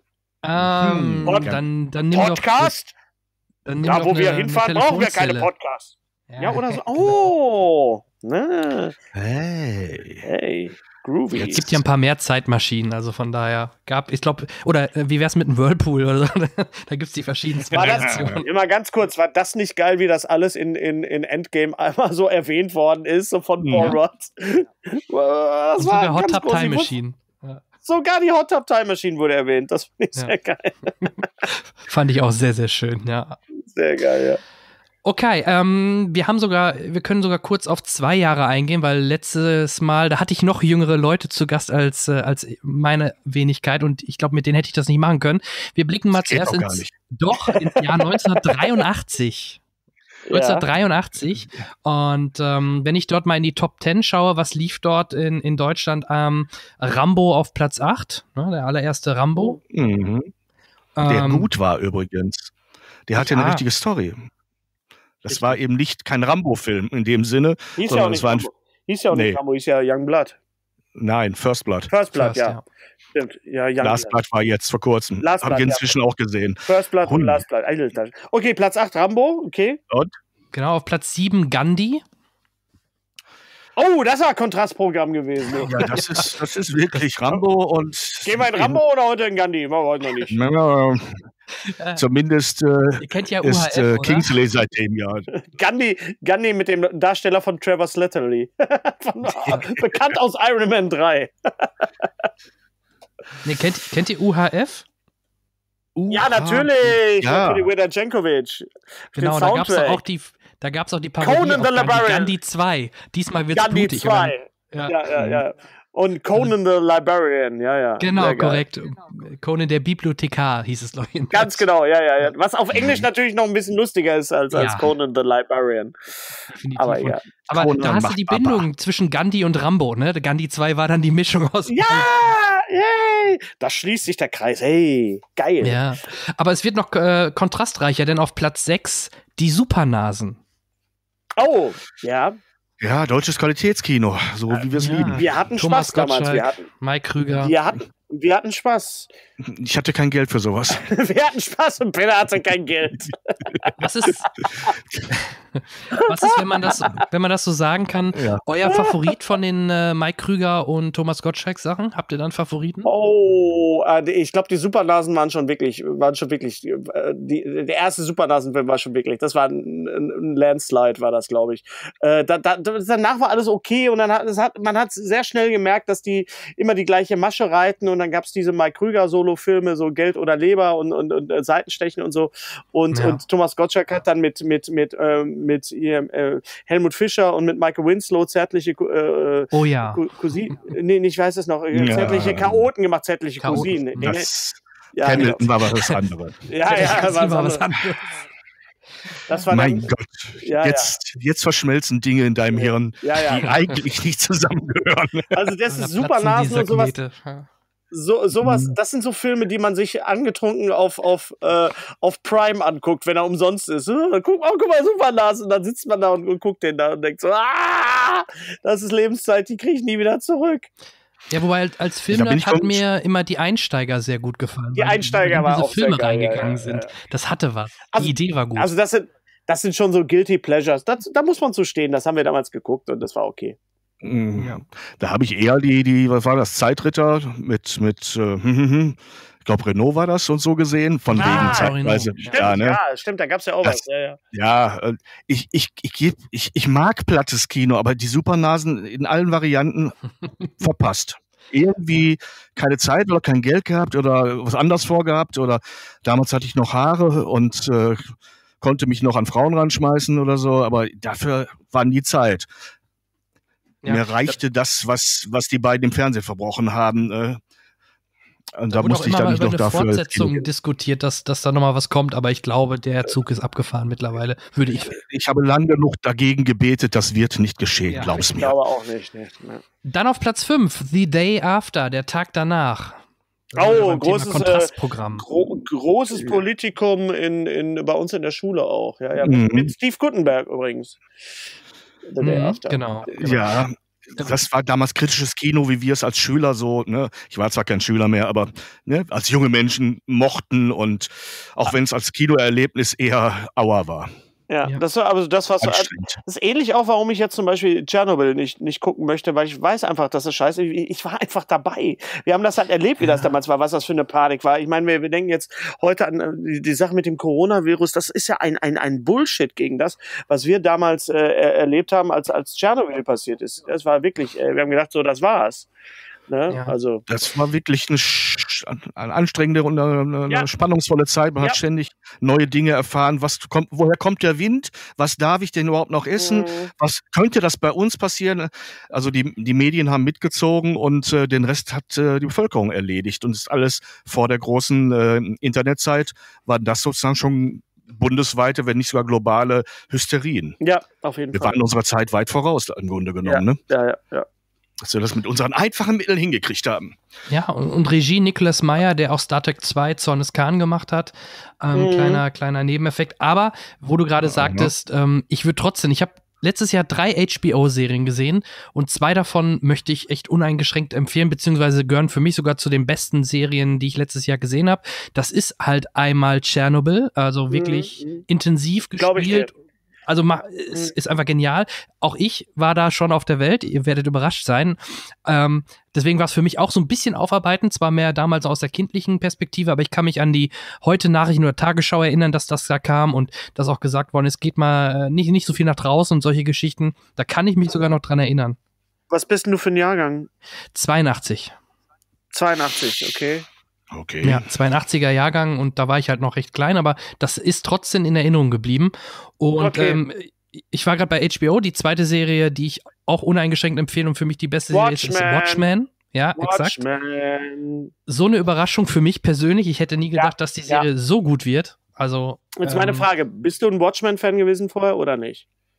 Ähm, ich bin nicht der Hardcore-Leser. Ich habe den Film früher schon immer gern gesehen, obwohl der schon nochmal tonal ein bisschen was anderes ist von, von äh, Zack Schneider. Der, ne? Film, ja. der, Film, der, Film, der Film ist eine, eine, eine 1 äh, zu 1 Abfilmung des Storyboards, was das Originalcomic ja ist. Das Originalcomic mhm. ist ja äh, mit, mit den Zooms und den Schwenks, die da eingebaut sind, quasi schon eine Art Storyboard. Das heißt, der, der Comic gibt quasi die Filmästhetik schon vor. Also was eigenes hat Snyder ja nicht gemacht.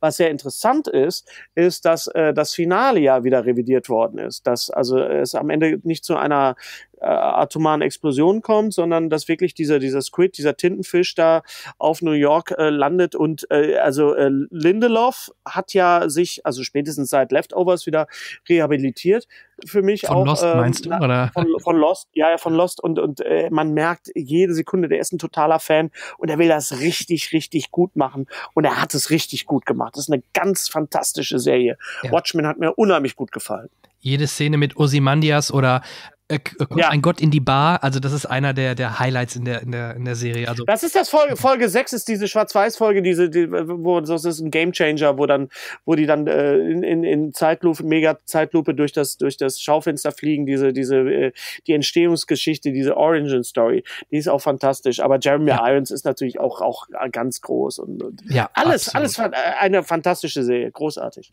Die Mutter und aller Meta-Superhelden-Geschichten. Ja, also absolut empfehlenswert. Ähm, und dann habe ich noch Notiert. die dritte Serie von HBO gesehen, die fand ich leider nicht ganz so stark, wobei ich mir erhofft hatte, also ich habe mir einfach mehr erhofft, das ist His Dark Materials, die Serie zu quasi mhm. der Goldene Kompass.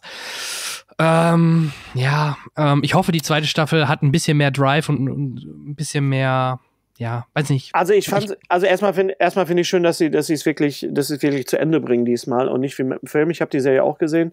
Mhm. Ähm, äh, James McAvoy und die, die, die, äh, wie heißt sie, die, die, ach, die, die, die Frau, die die Frau spielt, die Frau, die die Frau spielt. Die, die Nicole Kidman. Ach, die. Ah. Ja, ja, genau, die, die Lu Louise, äh, Ruth, Ruth Wilson, ja, ist auch ganz fantastisch.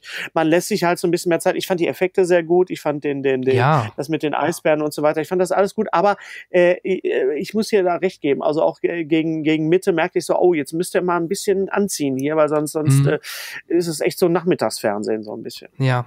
Ja, genau, das trifft das ganz gut. Also, das, das hätte man ein bisschen straffen oder ein bisschen anziehen müssen. Ja, die Effekte sind natürlich super. Ähm, Was natürlich ein schöner Dreh ist, Wahnsinn, ne? was natürlich ein schöner Dreh ist, ich weiß nicht, ob du die Bücher kennst, aber was bei der Serie ja neu ist, ist, dass sie halt wirklich auch äh, teilweise in, in unserer Zeit spielen.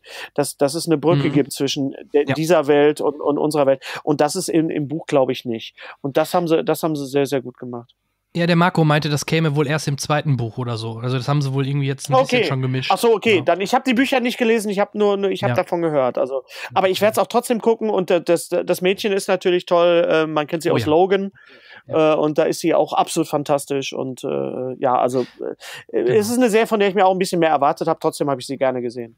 Ja, gerade wie ich gesehen habe, oh, James McAvoy, gut, der taucht nicht so viel auf, aber ja, äh, gebe ich dir recht. Äh, gut, das war kurz die kleine Exkursion zu HBO. Gehen wir in den Charts weiter. Auf dem Treppchen auf Platz 3 ist, äh, nee, auf Platz 4 ist noch Flashdance. Ich glaube, da brauchen wir nicht viel zu erzählen. Wir waren ja vorhin schon Ganz bei ehrlich- Dirty Dancing, feeling. jetzt Flashdance. Ganz Genau. ehrlich, nie gesehen. Ich habe den Film nie gesehen. Das war zu der Ich- Zeit, hat mich das überhaupt nicht interessiert. Ich habe nur so eine Ja, Snoopy-Tanzszene von die- Flashdance in Erinnerung. Von den Peanuts. Aber. Aber die Tanzszene kennen wir alle, ne? Vor allem als, äh, als Zitat. Die Tanzszene mit dem, mit dem, mit dem Wasser von oben. Mit dem Wasser, richtig. Ja. Die kennt, ne? die ist so, so oft vergurkt worden. Mal im Guten, mal im Schlechten oder im Witzigen. Äh, die kennt jeder. Den Film selber habe ich auch nie gesehen, weil, ja, das ist ein Mädchenfilm, habe ich damals gedacht. Und wahrscheinlich ist es auch so. Ja. Jetzt kommt ein Männerfilm Oder? auf Platz 3. Ja. Octopussy. Ja. Ähm, ja, das ist ein Männerfilm. Da Nicht nur müsste- wegen des Titels. Da müsste, da müsste man, da müsste man jetzt mal natürlich fragen, inwieweit war das der Film, den Roger Moore nicht hätte mehr machen müssen nach dem sehr sehr guten, äh, was nicht im Angesicht des Todes, äh, äh, In tödlicher Ähm, Mission? Tödlicher Mission, der ja, Mhm. der, der, tödlicher Mission wäre der perfekte Abschluss gewesen, muss ich wirklich Mhm. sagen für Roger Moore. Ähm, Octopussy war, den muss ich noch, mir noch mal angucken tatsächlich. Also ich habe ja zwischendurch mal so einen Softspot für für Roger Moore Bond-Filme, wo ich sage so, nee, das war schon auch der der Bond meiner Jugend und äh, ich möchte den jetzt auch nicht. Äh, das ist auch ein guilty pleasure und das möchte ich auch gerne mal ab und zu zelebrieren. Deswegen jetzt, wo du sagst, ich werde mir die Tage mal wieder Octopussy angucken. Mhm. Ich glaube, es lohnt sich. Einer, einer der vergessenswertesten äh, äh, äh, äh, Titelsongs überhaupt von, von Bond. was, was war's? Was All, war's? all, all Time High von Rita Coolidge. Aber, aber trotzdem äh, ist ein Ohrwurm, oder? Ja, äh, Also ich, ich habe sofort zumindest den Refrain im Ohr. Aber äh, das ist gut, das heißt das nicht. Äh, naja. Es gibt da, es gibt da wirklich äh, Meilensteine der Filmgeschichte auf diesem, auf diesem Brett und ähm, da gehört er nicht jetzt unbedingt unbedingt dazu. Nein. Aber in, innerhalb der Serie, äh, nein, es, ich finde, es, die, die haben sowas Untouchables. Ne? Die dürfen man, die darf man eigentlich nur so nehmen, wie sie sind. Ja, Man akzeptiert sie so oder man lässt es. Aber eigentlich sollte man sie akzeptieren und die Finger von lassen und einfach nur sagen, hin und wieder muss ich jeden gucken. Und ich liebe zum Beispiel auch den mit äh, George Lazenby. ja, und ich, ich, ich, immer so ge ge geblamed wird, aber der Mann hat einen guten Film, in einem guten Film eine gute Rolle gespielt. ja, für mich ist da zum Beispiel, für mich ist zum Beispiel Moonraker so ein Film. Ich sehe den und denke, oh, was ein Scheiß. Und dann sehe ich beim nächsten Mal, denke ich, ach, irgendwie ist das geiler Scheiß. Und dann wieder denke ich mal wieder so, das ist immer so, Bond-Filme sind für mich immer so Stimmungsfilme. Ich muss jetzt, jetzt brauche ich mal Mhm. wieder so ein richtig so, jetzt, ich muss jetzt mal Diamantenfieber sehen in der Synchronisation von Rainer Brandt, ja. Wenn, wenn, wenn, wenn Blofeld sagt, äh, was haben Sie denn da für ein Döschen im Höschen, äh, wenn sie hinten die Kassette hat, im, im, im, im Bikini. Weißt du, was denkst du, nur Rainer Brandt darf das. Ja. Ja, Was wer ist- sonst? Was ist das für ein bezauberndes Nichts, das sie da fast anhaben? Weißt du, das, Mhm. geht, das ging einfach nur damals. Das ging, Das kannst du heute nicht mehr bringen, das natürlich geht nicht. heute gar nicht mehr. Nee, heute könntest du vielleicht noch sowas bringen wie Do you want me to speak? Hm? Ja. No. Ja. I want you to I want, die. I want, I want you to die. Das Kennt, kennt ihr eigentlich die, die. Anekdote? Ja, leider, leider schlecht imitiert von mir. Na? Aber, aber ähm, auch Gerd Fröbe wurde synchronisiert. Und zwar nicht, Kennt ihr die? nicht von sich selbst. Nein. Äh, nettes Anekdötchen am Rande, wenn wir die Zeit noch haben. Ich habe Guy Hamilton mal getroffen. Und der oh. hat mir genau über diesen Film auch erzählt. Und er hatte, hatte Fröbe in ähm, Es geschah am helllichten Tag gesehen und war begeistert von ihm. Gesagt, hey, den Mann muss ich als, als, als Willen haben.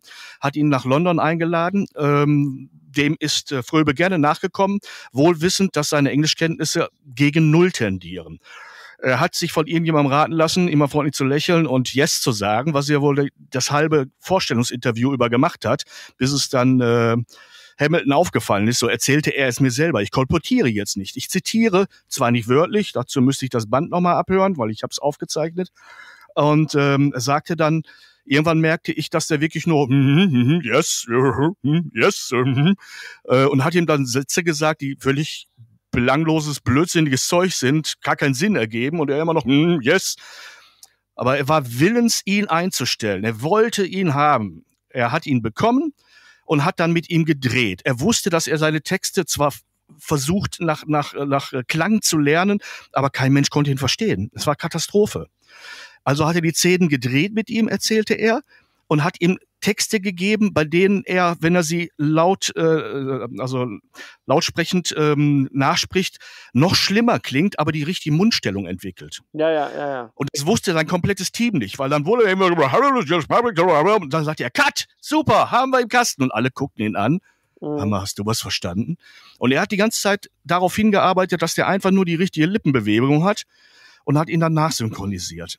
Und das. Äh, da müsste man natürlich, äh, das wäre natürlich schön, wenn man da noch die Originalaufnahmen hätte, damit man das mal hört, so wie bei, wie bei David Prowse als Darth Vader. Ne? Das ist ja auch. Äh, ja, gibt's oh, das? Ja. Da, da, von Darth Vader, von David Prowse gibt es das ja. Da schlägst du aber drei Kreuze, dass das äh, dann äh, Herr Earl Jones dann nochmal rübergegangen ist. Ja, das stimmt. Wieso klingt er wie, wie Mickey Mouse? Oder, nee, der, klingt oder? Einfach, der klingt einfach wie so ein Bollo. Hä, hey, doof, ey. Komm her, hol auf die Fresse. Ja, das ist aber bekloppt, ey. So, so, nicht, aber es ist einfach nicht, es ist einfach nicht gut. Einfach. Naja, okay. Ich glaube, ich, glaub, ich höre es mir mal an. Nee, das gleiche, gleiche Anekdötchen aus dem gleichen Gespräch zu Roger Moore, der laut Guy Hamilton nicht laufen konnte. Beziehungsweise den ersten, den die zusammen gemacht haben, was war es nochmal? Oh. Live and Let Die? Ja. ja, ich glaube, das war ihr erster, ne? Richtig. Das war zumindest den, der erste Moore. Ja, Guy Hamilton hat den ja auch gemacht. Ja, dann ist und, es der erste. Ja. ja, und dann haben die, haben die sich getroffen und, und, und Moore sagte ihm, hey, ich habe auch meinen Stuntman dabei. Und er sagte, hey, wir haben hier Stuntmänner und haben auch einen für dich. Nein, nein, ich habe ich hab einen eigenen fürs Laufen. Und dann sagte er zu ihm, was soll der Quatsch? Du brauchst einen Stuntman zum Laufen. Und dann zeigte er ihm in dem relativ weitläufigen Büro mal so ein paar schnelle Schritte äh, und meinte, ich sehe aber scheiße aus, meinte Moore, wenn ich laufe. Ich wirke einfach nicht mehr männlich und auch nicht cool. Und dann lief er einmal durch den Raum in etwas schnelleren Schritten und Hamilton sagte dann, er hatte recht. Es sah schlimm aus. Wenn du dir jetzt die Filme anguckst, wirst du immer einen laufenden Bond nur von hinten sehen, der um irgendeine Ecke hinter einem Fahrzeug ne, kurz verschwindet und die frontale Aufnahme kommt dann äh, von Roger Moore, weil bis dahin war er es nicht. Tja. Also wirklich ganz klassische. Ne, und wahrscheinlich, und wahrscheinlich, wahrscheinlich hat der junge Tom Cruise das gesehen und hat gesagt: Nein, ich mache alles selbst. Genau. Sogar, sogar ich lerne sogar den Hubschrauber, Hubschrauberführerschein und ich fliege, wenn ich irgendwann mal die Fortsetzung zu Top Gun mache, fliege ich sogar selber. Nee, nee, nee, bäh, bäh, bäh. Genau, ich bin der Beste. Ich habe alles selber gemacht. Ja. ja. So, was haben wir noch weiter auf der Liste? So, weitermachen, richtig. Genau, auf äh, Platz 2 Sidney Pollack mit äh, Tutsi. Oh also, ja. sieht man die deutschen gesehen, ja. Komödien. Ja, und Robin Williams. Nee, äh, Bill Murray. Nee. Ja, Hä? Bill Murray, aber auch Dustin Hoffman, ne? Du verwechselst. Dustin Hoffman. Entschuldigung, ich war Doubtfire. Ich war gerade im Doubtfire-Modus. Ah, das ist ja nah, ist, ist, ist ja, ja. Ist ja gerade nah dran. Auch. Ich hatte richtig ein Bild vor Augen und es war das Verkehrte. Ja, ja, ja, aber das Bild, das Bild, äh, das, das passt schon, das Bild. Aber, das ist der, aber Tutsi ist, ist, hat, hat viel mit, ne? Der, der junge Bill Murray, der junge Bill Murray als, glaube ich, als Mitbewohner, glaube ich. Äh, genau. ähm, ähm, ähm, ähm, nein, halt, halt, halt. Wie heißt er? Ach Gott, ich bin bekloppt. Berühmter amerikanischer Comedian, der doch auch, der war der Mitbewohner, auch in dem Laden. Ähm, helft mir, Jungs. Don Rickles? Im Film jetzt? Nein, äh, leider schon tot. Ähm, äh, Rickles ja auch. Hm. John, John Candy. Nein. Stage-Comedian, hauptsächlich. Außer ein paar Cameo-Auftritten im Film. In Tutsi. Ja, ja, ja, ja, ja. Also ich habe hier die, äh, Charles Durning ist hier noch aufgeführt. George Nein. Gaines. Ich bin Gina bekloppt, Davis, ehrlich. War einer meiner absoluten Favorites und ich komme auf den Namen nicht. Und du bist sicher, dass der in Tutsi mitgespielt hat? Ich bin mir Oder sehr war's sicher. Miss Dortfire. Oder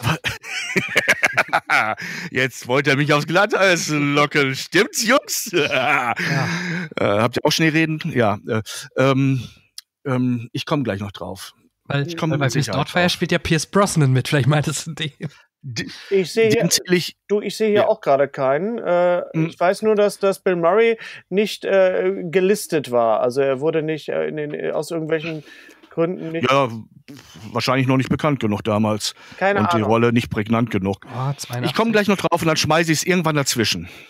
Okay, Ja, dann. also ich Äh, habe hier die, die, die Liste vor mir. Ich sehe keinen Ja. bekannten Stage-Comic. Ich glaube, er ist, er ist nicht, er ist nicht, äh, nee, nee, er ist nicht auf dem, auf dem Cast.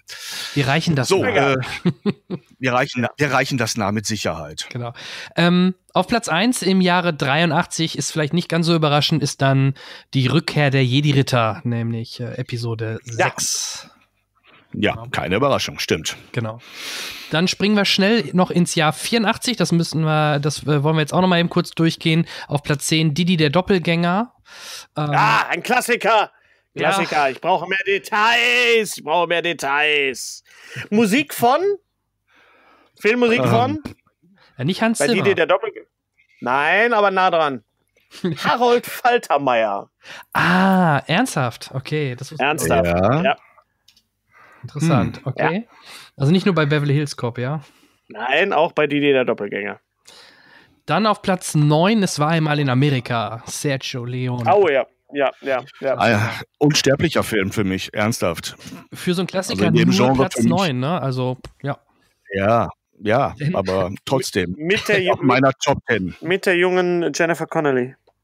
Ja, Denn auch schon mal getroffen, die gute Dame. Und vor ihrer OP, mein Gott, Denn- es war so schwer, den Blick hochzukriegen. Denn in Deutschland gab es einen Film, der war damals sehr erfolgreicher. umfangreich. Zwei Nasen tanken Was denn? super auf Platz 8. Dann, dann muss der besser gewesen sein. ja, die haben scheinbar echt jährlich einen Film rausgehauen, die beiden. Ja, ja, klar. In, den, in den Jahren auf jeden Fall. Da war, da war die Nachfrage da, da, da, wurde, da wurde gedreht. Da kannten Ja. die nix. Dann auch erfolgreicher, das bestätigt wieder das, generell finde ich immer an den Charts, siehst du halt in Deutschland kommen Komödien immer sehr gut weg. Highway 2, auf dem Highway ist wieder die Hölle los. Den ich nie gesehen habe. Ich habe den ersten mehrmals im Kino gesehen und der zweite ist, glaube ich, der mit Frank Sinatra. Und der steht irgendwo noch auf der Liste den, von Filmen, die ich irgendwann mal noch mal sehen muss. Weil äh, Burt Reynolds ja synchronisiert wurde von, Achtung, Ja, Christian Brückner. Christian Brückner hat ja nicht nur Robert De Niro, ne, es war in, Mhm. in, in, in Amerika, sondern auch äh, Burt Reynolds in den, in den ganzen äh, äh, hier Smokey and the Bandit Filmen und so äh, synchronisiert. Also er war nicht nur, er ist nicht nur äh, Robert De Niro, sondern er ist auch Burt Reynolds. Fun Ja. Fact. Also den habe ich Mhm. gesehen, weil da war auch Jackie Chang mit dabei, Dean Martin und Genau, ja. Sammy Davis Jr. Genau. Ähm, also ich fand die immer geil, also gerade als Kind, ähm, das war so typisches Nachmittagsprogramm, glaube ich. Im, Das im ist das, was Fernsehen. heute, das ist heute was, was heute Fast and the Furious ist. Ja, genau. Man hat es mal mit Red Race probiert, ne, mit, mit äh, Mr. Bean und äh, Ron Atkinson. Gut, Der war, aber da gibt es eine ge- geniale Ja. Szene, wo die in, ins Barbie-Museum wollen. Da muss ich Oh sagen, ja, allein dafür, das allein das, dafür ist dafür großartig. Dieses ganze, dieses Kind, was die ganzen, den ganzen Film immer, ich will aber ins Barbie-Museum, ich will ins Barbie-Museum. Und dann sehen sie dieses Schild mit dieser originalen Barbie-Schrift und dann ist es, dann ist es das Klaus Barbie-Museum. Und Ich glaube, in dem Moment habe ich mich, so, in dem Moment habe ich mich so eingenässt, weil das so großartig war. John Ja, Lovitz total. und John Cleese und Whoopi Goldberg, auch äh, ein sehr seltsamer Film, aber natürlich das Original äh, It's a Mad, Mad, Mad, Mad World mit Spencer Tracy, ein absoluter Klassiker. Hui, dann auf Platz 6 Gremlins, kleine Monster. Ja, Joe Dante, sehr schön. Genau, Joe Dante. Sehr schön, sehr schön. Der erste auf jeden Fall, der zweite war, war nur die Verlängerung. Nein, die zweite, der zweite war auch gut. Der zweite mit ja, das war aber nur die Verlängerung. Ja, aber es ja, war alles gut, aber in Ordnung. Für, für, für, für den zweiten Film sehr gut. Joe Dante, ich darf mal kurz eben kurz Werbung machen, dass äh, Herr Streht auch, ja, dass mhm. Herr Streter, Herr Strebeck und ich äh, den einen Audiokommentar eingesprochen haben für einen der besten Filme, äh, die Joe Dante je gedreht hat und überhaupt einer der besten Filme, die je gedreht worden sind, nämlich für äh, meine teuflischen Nachbarn mit Tom Hanks, oh, The Burbs. Tom Burbs. Genau. Ja. Der kommt als Special Edition dieses Jahr noch raus bei, bei äh, Birnenblatt und wir haben das große Vergnügen gehabt, einen äh, äh, Audiokommentar in Filmlänge einsprechen zu dürfen. Wow. Also das macht der ist dann mit auf der, auf der VHS oder? Der ist dann mit auf der Blu-ray, die aber aussehen wird wie eine VHS, wie so oft ah. bei Birnenblatt. Ja, sehr schön. Da, da bin ich sehr gespannt drauf. Ähm, das habe ich auch schon mal ja hier in diesem Format gemacht. Cinecast Tonspur habe ich das genannt. Da habe ich auch schon zu einigen Filmen halt ähm, natürlich nicht auf der Blu-ray, aber eine Tonspur angefertigt und Zuhörer hatten die Möglichkeit, das einfach parallel passend getimed ja, ja, ja, spielen ja, ja, zu lassen. Ne, sowas. Also finde ich super. Ähm, werde ich mir auf jeden Fall anhören. Das wird sicherlich sowas, sowas machen wir gerne. Wir haben, wir haben auch einen eingesprochen. Wir machen das auch für unsere, für unsere äh, Patreon-Unterstützer halt auch ab und zu. Jetzt haben wir für, für, für S, für den ersten Teil das eingesprochen und für, mhm. für Terminator und so. Und äh. äh, es gibt einen, mit, wo ich über Bohemian Rhapsody spreche, wo ich dann immer erkläre, was jetzt an der Stelle falsch ist und was, warum das nicht gehen kann und warum das Lied zu der Zeit. Das jetzt, ja, tut mir leid, ja, aber dafür, okay. dafür ist man ja ein Nerd, ne? Ja, also, gut. okay, gut. Also. Ich dachte, du hast die Film, äh, ich dachte, du hast die Lieder direkt synchron übersetzt, so wie du es auch äh, schon mit das, das könnte ich, hätte ich auch schon machen können, ja, das stimmt, ja. ja. Okay, auf Platz 5, äh, sag niemals nie. Also ja. da ist das ist auch eine hohe Dichte, ne? Also die Jahre da waren wirklich, also ich hatte gesehen, äh, im Normalfall alle zwei Jahre. Jetzt haben wir hier mit Sag niemals nie wieder einen Bond-Film, natürlich einen sehr speziellen, ne? weil ich glaube, der gehört nicht offiziell zum Kanon, oder? Oder zu der, der, gehört nicht zum, ähm, der gehört nicht zum Kanon. Das Interessante ist, dass äh, der in Amerika zeitgleich lief mit Octopussy. Also das waren Wahnsinn. wirklich zwei direkte Konkurrenten. Es ja. waren zwei parallele Produktion und nicht die klassische von Broccoli, mhm. sondern eine, die sich die Rechte sozusagen über Jahre, wenn nicht Jahrzehnte erstritten hat. Mhm. Ähm, ich verweise nochmal auf den Podcast Nicht im Kino, da gehen die auch zum Teil darauf ein, wie es zu diesem Film gekommen ist. Ähm, Connery wurde wirklich damit gelockt, dass er nämlich auch an diesem Film maßgeblich mitarbeiten konnte. Man hat ihm sogar in Aussicht gestellt, Regie zu führen und das Drehbuch alleine zu schreiben, was äh, nicht aus Qualitätsmangel, aber letztendlich nicht so gekommen ist. Und ähm, ähm, so kamen plötzlich in einem Jahr zwei Filme mehr oder weniger mhm. fast zeitgleich raus und mit zwei unterschiedlichen Bond-Darstellern, weil man gesagt hat, ja, die haben ja auch beide ihre Fanbase, das wird schon laufen. Aber nur ein, aber nur ein Toupet. Ja, anscheinend. Hat, hat, hat Mo jemals ein Toupet getragen?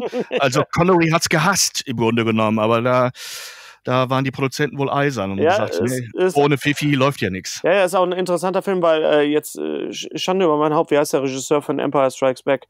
Äh, ähm, äh. ja. ja, ich, du hast recht. Schande über un, unser aller Haupt. Oh, echt, aber Namen. Warum Leute auch jeder einen Namen haben muss. Richard Marquardt. Ah. Nein, das Nein, war, so, das, nicht, war nicht Ritter. das war Rückkehr der, Re Re äh, Rückkehr der Rederitter. Ja, ja, ja. Du guckst gerade auch nach, ja? Erwin Kirschner. Kirschner, Kirschner. ja, danke. Ja, genau, Erwin Kirschner, ganz genau. Ach, verdammt, ey. Und äh, da hat äh, ähm, äh, Erwin Kirschner Regie geführt und äh, Ron Atkinson spielt mit und natürlich äh, Kim Basinger und als Bösewicht mhm. äh, Klaus Maria Brandauer. Maria Brandauer. Genau. Genau. Ja. Ja, das war äh, ja eine gute Besetzung. Äh, es war von der Story her eine Doublette, glaube ich, zu, zu Diamantenfieber, ne? Nee, Thunderball. Äh, Thunderball, richtig. Ja, Thunderball. Äh, aber äh, nicht Und Barbara Carreras hat auch mitgemacht. Ja. Ich glaube, ähm, mit dieser wunderbaren Szene, wo der am Anfang in diesem Sanatorium seinem Widersacher, der ihm da ja, genau. ordentlich Prügel gibt, erstmal eine Urinprobe von sich ins Gesicht genau. gibt. Der hat, der, der, der, der hat einen Gegner mit seiner eigenen Urinprobe getötet. Ausgeschaltet. Das konnte nach ihm nur noch Jan Ulrich. Ja, aber da war es tödlich. Bei Jan Ulrich war es tödlich. Ja. Mein Gott, ich glaube, äh, wir sind albern, auf, kann das sein? Auf Platz 4, auf Platz 4 müsst ihr mir mal helfen, das, da steht Amadeus. Ich kenne nur das Lied. Ja, Amadeus, Amadeus. Milos Forman. Ah, Milos Forman ja. und Tom Hals. Und Tom Hals. Tom Hals, der hatte damals so einen Hals. Aber so ein. Und, äh, Die Rolle seines Lebens, ne? Und, und F. Murray Abraham, übrigens äh, in der Synchron äh, vom wunderbaren Gottfried Kramer. Äh, synchronisiert. Äh, tatsächlich ist Amadeus eine der ersten Blu-rays, die ich mir gekauft habe und sie steht immer noch verpackt äh, hier rum. Ich bin noch nicht dazu gekommen. Zu viele Noten, meine, so meine Lordschaft. So, zu viele Noten. So viele Noten, ja. Genau. Also sollte ich mir mal anschauen, Nein, ja, weil den, den ja, ist, ja, glaub schon. Ja. Definitiv. Also ausstattungsmäßig ist das auch ganz weit vorne, ja. Und, und ich glaube schon, dass es ein guter Film auch ist. Aber es ist natürlich, man muss, man muss dem, dem Thema klassische Musik und Mozart natürlich so ein bisschen aufgeschlossen sein. Aber es war einer dieser Filme, das glaube das Besondere war, dass Mozart da wirklich so als Popstar halt auch äh, äh, äh präsentiert worden ist. Also die ganze Geschichte basiert auf einem damals sehr populären, ja, auf einem Bestseller, der, der dessen Geschichte und dessen vor allem Ableben fast wie so ein Krimi recherchiert hat. Mhm. Es gibt Zweifel daran, dass das so war, aber es ist eine mögliche Variante, dass sozusagen das, J, das JFK Österreichs ähm, ja. Ne, dass, dass da Salieri äh, seine Fingerchen im Spiel gehabt haben soll. Dieses Buch war vorher ein mega, mega Bestseller. Das ist ernsthaft wirklich diskutiert worden in der Fachwelt. Und äh, der Film war dann nicht weniger erfolgreich und eben ein phänomenaler Regisseur.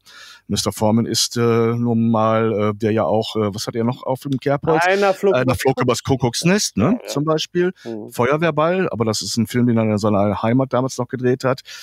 Ähm, auf jeden Fall großartiges Kino mit mhm. tollen Leuten. Ja. Ja.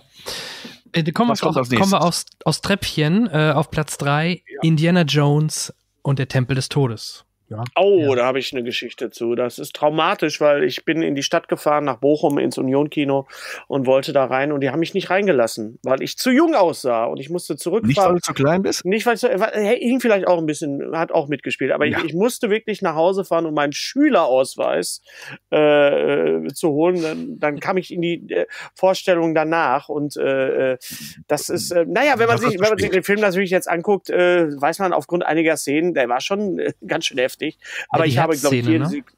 Ja, die Herzszene. Ja. Ich habe auch das mit dem Affen ja. Ich habe jede äh, mhm. Sekunde gelebt. Einfach.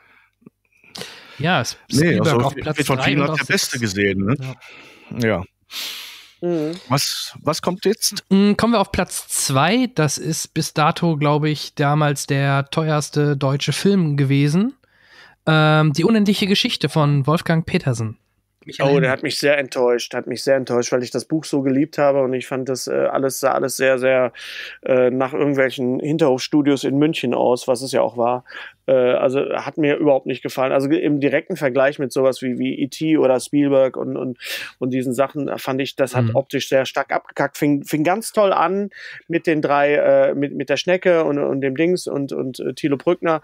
Das hat mir total gut gefallen. Äh, tolle Musik, Klaus Doldinger äh, und Liemal, erst ne? später. Nee, er kam ja erst später. Limal kam ja, das kam ja erst später dazu. Ich glaube, der erste, die erste Version war ohne Limal und dann haben sie für Amerika, haben sie dann äh, gesagt, nee, wir brauchen irgendwie einen Titelsong und dann kam das, glaube ich, wurde das, glaube ich, dann geändert. Okay, weil ich finde, das ist ja, auch einer der wenigen Sachen, ja. die so richtig dabei hängen geblieben sind, dieser, dieser Song, Never Ending Story. Ne? Ja, Nicht ohne Grund hat man den zuletzt auch in Stranger Things gehabt, ne? Also. Ja, ja. okay. Ah, Und auf Platz 1. Trommelwirbel. Habt ihr ja. eine Vermutung oder habt ihr schon geguckt? 84? 84, Ghostbusters. Ghostbusters. Was? Ghostbusters oder Beverly Hills Cop? Nee, Ghostbusters mm. ist hier nicht. Ich vermute, kann es sein, dass der dann erst äh, ein Jahr später Termina bei uns ins Kino gekommen ist? Terminator. Nee, Ghostbusters habe ich definitiv 84 gesehen. Es ist eine Komödie und ein Überraschungshit. Und wieder mit, äh, mit Herrn Gutenberg. Den hast du doch vorhin schon mal erwähnt. Dann ist es Police Academy. Richtig, auf Platz 1. Wahnsinn. Police ja, Academy. Geil. Ja. Welcher? Der erste. Der erste. Der erste. Der erste. Ja. ja der, der war noch ein Kracher. Der war wirklich. Ah, der zweite war auch noch okay, komm. Ja, aber nicht keine Überraschung mehr. Der erste hat uns weggeknüppelt, der erste war weil super, sowas ja. hatten wir nicht gesehen. So viel, so viel geballte Nonsens-Power im Grunde genommen und trotzdem gut gemacht. Ja, ne? und super also, natürlich in der Synchro von Arne Elsholz, ne? Das ist natürlich darf man auch oh, nicht vergessen. Ne? Ganz, ganz, ganz Stimmt, vorne. das war Arne Elsholz, ja, Steven Gutenberg, äh, Steve Gutenberg so. Ja. Ähm, ja. Und Musik, ne? Die Musik ist ja auch, äh, ist ja auch dadurch. Äh, unsterblich geworden oder die, diese, diese Titelmusik, wenn man, wenn du die anstiegst, ja, ja, ja. jeder weiß sofort Bescheid, ne? Das ist so ein. Ja, ja. Was ich ja damals so toll fand, ist, dass, dass, dass Gutenberg sich das überhaupt, äh, das überhaupt gemacht hat, weil er hatte ja durch die Erfindung des Buchdrucks eigentlich auch schon sehr viel Geld verdient. Eben. Ja, stimmt. Hat es ja eigentlich nicht mehr nötig gehabt, ne? Oh, lass es mal zum Ende kommen. Es wird diese, der, der, der, tat mir jetzt echt, der tat mir jetzt selber weh, aber. Ja, dümmer als die Polizei erlaubt, hieß der, glaube ich, ne? Mhm. Ja, ja, Untertitel, ja. Aber der hieß schon Police Academy Ja. mit Untertitel dümmer als die Polizei erlaubt. Ich glaube, die Ja, hatten ja. alle so ein. Für alle, die kein Englisch können, musste man ja irgendwie Police Academy, da kann man sich ja nichts vorstellen. Ja, ja, ja. Aber auch, Was, aber was auch, könnte das sein? aber ich meine, aber auch, ich meine, selbst 1917 hat einen deutschen Untertitel. Der Zeit ist, die Zeit ist der Feind. Ja, so. ich könnte dir Ah, gleich das. mal so in die Fresse hauen. Entschuldigung, dass ich so unverblümt sage. Echt, das ist, Snatch, Schweine und Diamanten. ja. Warum macht man das? Äh, das da, ich muss mir echt mal jemanden einladen, der mir das erklären kann. Oder warum man einen englischen Film mit einem anderen englischen Wort in Deutschland rausbringt. Ne? Wie, oder auch Ghostbusters Afterlife. Wo ist das Problem? Warum muss das Ghostbusters Legacy heißen? Ich Also glaube, bei da, da, Legacy- ich, ich glaube, Afterlife ist irgendein Videospiel und die haben nicht äh, das Recht, weil sie haben das, das gleiche Problem mit mit mit mit äh, äh, Zootopia oder Zoomania. Da- Das, Ja. Es gibt ein, Mhm. ein, Zoo in Dänemark. Äh, da da gab es das Problem. Manchmal ist manchmal sind sind das solche rechte Fragen. Äh, bei, Toy Story 4 ist es einfach nur total bescheuert, weil der Film heißt Toy Story 4 und nicht äh, Toy Story. Alles hört auf kein Kommando. Das ist Blödsinn, ja. Aber man, man denkt natürlich, ach, die Leute erinnern sich gar nicht mehr an Toy Story, dann nennen wir das jetzt einfach so. Äh, oder wir holen da jetzt noch jemand ab. Aber äh, wir als, als, als Filmfreaks, als Nerds, als Cineasten schlagen natürlich die Hände über den Kopf. Ne? More Money, Ja. mehr Geld. Ja, sag ich nur. Ne? Ja. Ja, geht letztendlich mal darum, ein paar Trigger zu liefern, ne, für Leute, die Ja, ja, ja. Äh, irgendwie, oh, was mit Monster, oh, oh, was mit Polizei, oh, oh, ne, irgendwie äh, kitzeln. Es ist kitzeln, Mhm. aber auf einer sehr, sehr flachen Ebene. Ja. Ja. Also, Also manchmal kann man- echt weh. Also mich würde es nicht wundern, Wie- vielleicht wie übersetzen sie Tenant auch noch irgendwie. Keine Ahnung wie, aber. Keine Ahnung. Na, ich, ich, ich, ich, glaube bei. Es wird keine Übersetzung, glaube ich auch nicht. Ich glaube, es wird eher so ein Nachsatz immer sein, der dann, der dann Mhm. sozusagen, der es nicht nötig macht, es zu übersetzen. Es als Eigenwort, wie es gedacht ist, steht es mit einem eigenen Klang, einer eigenen Rhythmik, mit einem, mit einem, mit einem Branding im Grunde genommen. Und dann muss da aber irgendwas noch dahinter kommen, was, was inhaltlich. Ich meine, Ja. Star Trek Dry ist Star Trek Dry, aber auf der Suche nach Mr. Spock. Mein Ja. Gott, wo suchen die bloß? Aber da war, Ich glaube ich, sogar der, da war sogar der englische Untertitel auch. The Search for Mr. Spock gab es auch im englischen Ja, ja. Original. Also da haben sie noch nicht mal Natürlich. komplett was sich ausgedacht, sondern haben das sogar übernommen und übersetzt. Ähm, ich glaube, heutzutage ist es sogar Klagen auf hohem Niveau. Schau dir mal Star Trek an, Ja. hieß früher immer Raumschiff Enterprise. Selbst Next Generation hieß Raumschiff Enterprise das nächste Jahrhundert. Na, erst so gefühlt durch die Blu-ray haben sie dann irgendwann überall das äh, original englische Bild genommen und nur noch die Tonspur drüber gelegt und deswegen stand dann da auch Star Trek. Oder Star Trek Voyager hieß Mhm. bei Sat 1 auch Raumschiff Voyager. Also, ja. Ja. Hm, ja, ja. Das beißt. Ich glaube, nur bei Deep allem, Space Nine haben sie es haben sie es nicht gemacht. Da, da, da, fiel, da passte das Raumschiff nicht. Tiefer Raum 9. Hm, Das klingt doch gut. Ja, tiefer Raum 9, ja.